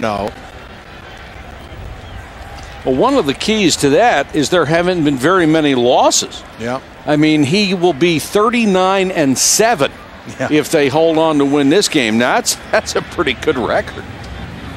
This week on Monday Night Football, it's the Broncos with that high powered offense against the New England Patriots, who are hanging on by their fingernails. Monday Night Football on ESPN at 8.30. Coverage begins at 7 Eastern with Monday Night Countdown delivered by UPS. With that coaching staff in New England, if anybody can do it under these circumstances, it's them. But it's very, very hard to lose a brilliant player who's your quarterback, your leader, and everything else, and still have success. Well, for Steve Spurrier, how about this? They've played, this is the fifth SEC game they've played this year, right? The first four have all been decided by seven points, two wins and two losses. And we're at seven points right now. Now, this one could go up. But the bottom line is, you know, they have been so competitive and been in every ball yep. game. But uh, just Took, I think they took a step forward tonight with Garcia. It got yeah. a little bit tar- harder there at the end of the ball game, but uh, and a lot of that credit goes to LSU and their defense. I mean, they they really stepped up in the second half and made things very uncomfortable for Stephen Garcia. Well, these kind of losses will just tear your heart out. I know. Yeah, they, they do. I almost would rather get whipped than, uh, than figure out how to win a game or lose a game by seven points. Exactly. And they don't want to let Keiland Williams in there. That shows something from that South Carolina defense. Is still not going to give up. And now we're under 50 seconds. And South Carolina hanging on to that one timeout. 11 of those 18 losses under the old ball coach by seven points or less. And part of that, he's had to rebuild this program, and that makes it tougher to win those close games, or any game for that matter. Here's what they have left Tennessee, Arkansas, at fifth ranked Florida, and Clemson. So this was a huge game for them. They could have gone to six and two if they had won this ball game and maybe looking at a nine win season. Well, and they, they still have to get better offensively. I mean that that's yep. the thing. I mean defensively, it appears that they uh, you know they're legit right now this year. They they really have a solid defense. They've got a good, promising young quarterback, but they don't have much of a running game. And uh, you know until they get better balance running and passing, that's the thing. You think about Steve Spurrier. You, you think of his days at Florida, and you think, oh, he loved to throw the football and they threw touchdown passes. Yes, they did, but they were a well balanced football team. Yes, they were. And they had NFL type receivers and NFL type running backs uh, to go with quarterbacks that really could put the ball where they needed it to be. They, they still need to, to make major improvement offensively here uh, to get where they want to be. South Carolina has gained only 42 yards in the second half. 48 seconds to go. The Gamecocks have used their last timeout. Keiland Williams goes to the one. Now, when they mark it ready for play, the 40 second clock starts, and it looks like there is a one second difference. So they are going to have to snap the ball, but that's all they have to do.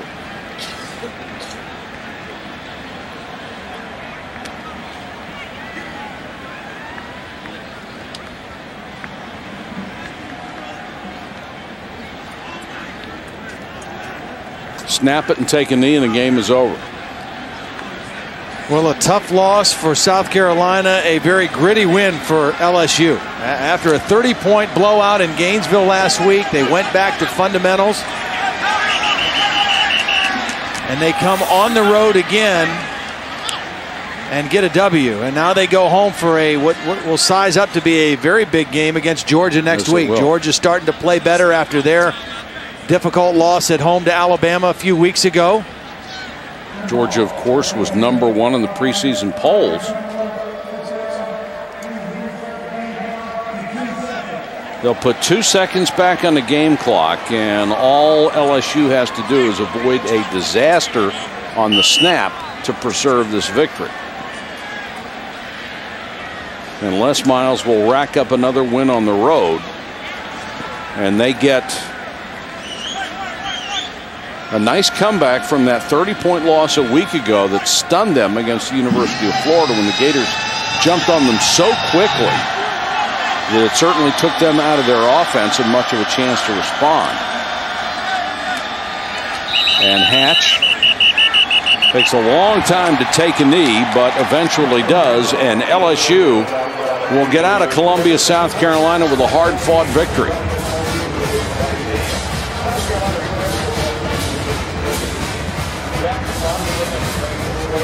South Carolina will go home disappointed with the loss, but LSU and Les Miles, Holly will be able to take home this victory. Well, Coach, you guys were down by seven at the half, and Garcia had been effective running and throwing the football. What changed for you defensively that turned that around? A couple small adjustments didn't allow him to get to the perimeter. You know, we, we really talked about our rush lanes, but yet we still came after him. We came up the center when, when he passed. Both quarterbacks really working in tandem tonight. How would you describe the effectiveness of both of your quarterbacks? Well, you know, sometimes we made a couple mistakes. I'd like to have those those, those plays back, but I think uh, both guys showed poise and, and, and played well. I I'm really pleased with how Hatch managed the back end of the game. Both of your running backs, too, Keiland Williams and Charles Scott, very effective tonight. Also, another one-two punch there. What would you describe their performance? Well, timely. It's what we needed. You know, we needed guys to step in there and make big plays. All right, thanks, Coach. Thanks, Holly. Big game in the SEC. LSU pulls it off on the road. The final score number 13 LSU 24, South Carolina 17. Coming up next on ESPN. Stay tuned for Sports Center. And for a wrap up of this game, catch us on ESPN News in just a few minutes. This has been a presentation of ESPN, the worldwide leader in sports. Our thanks to Ken Dennis, who directed tonight's ball game.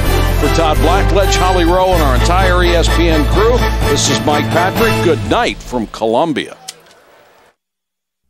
Outside, it's a quiet night on the plains of central Oklahoma.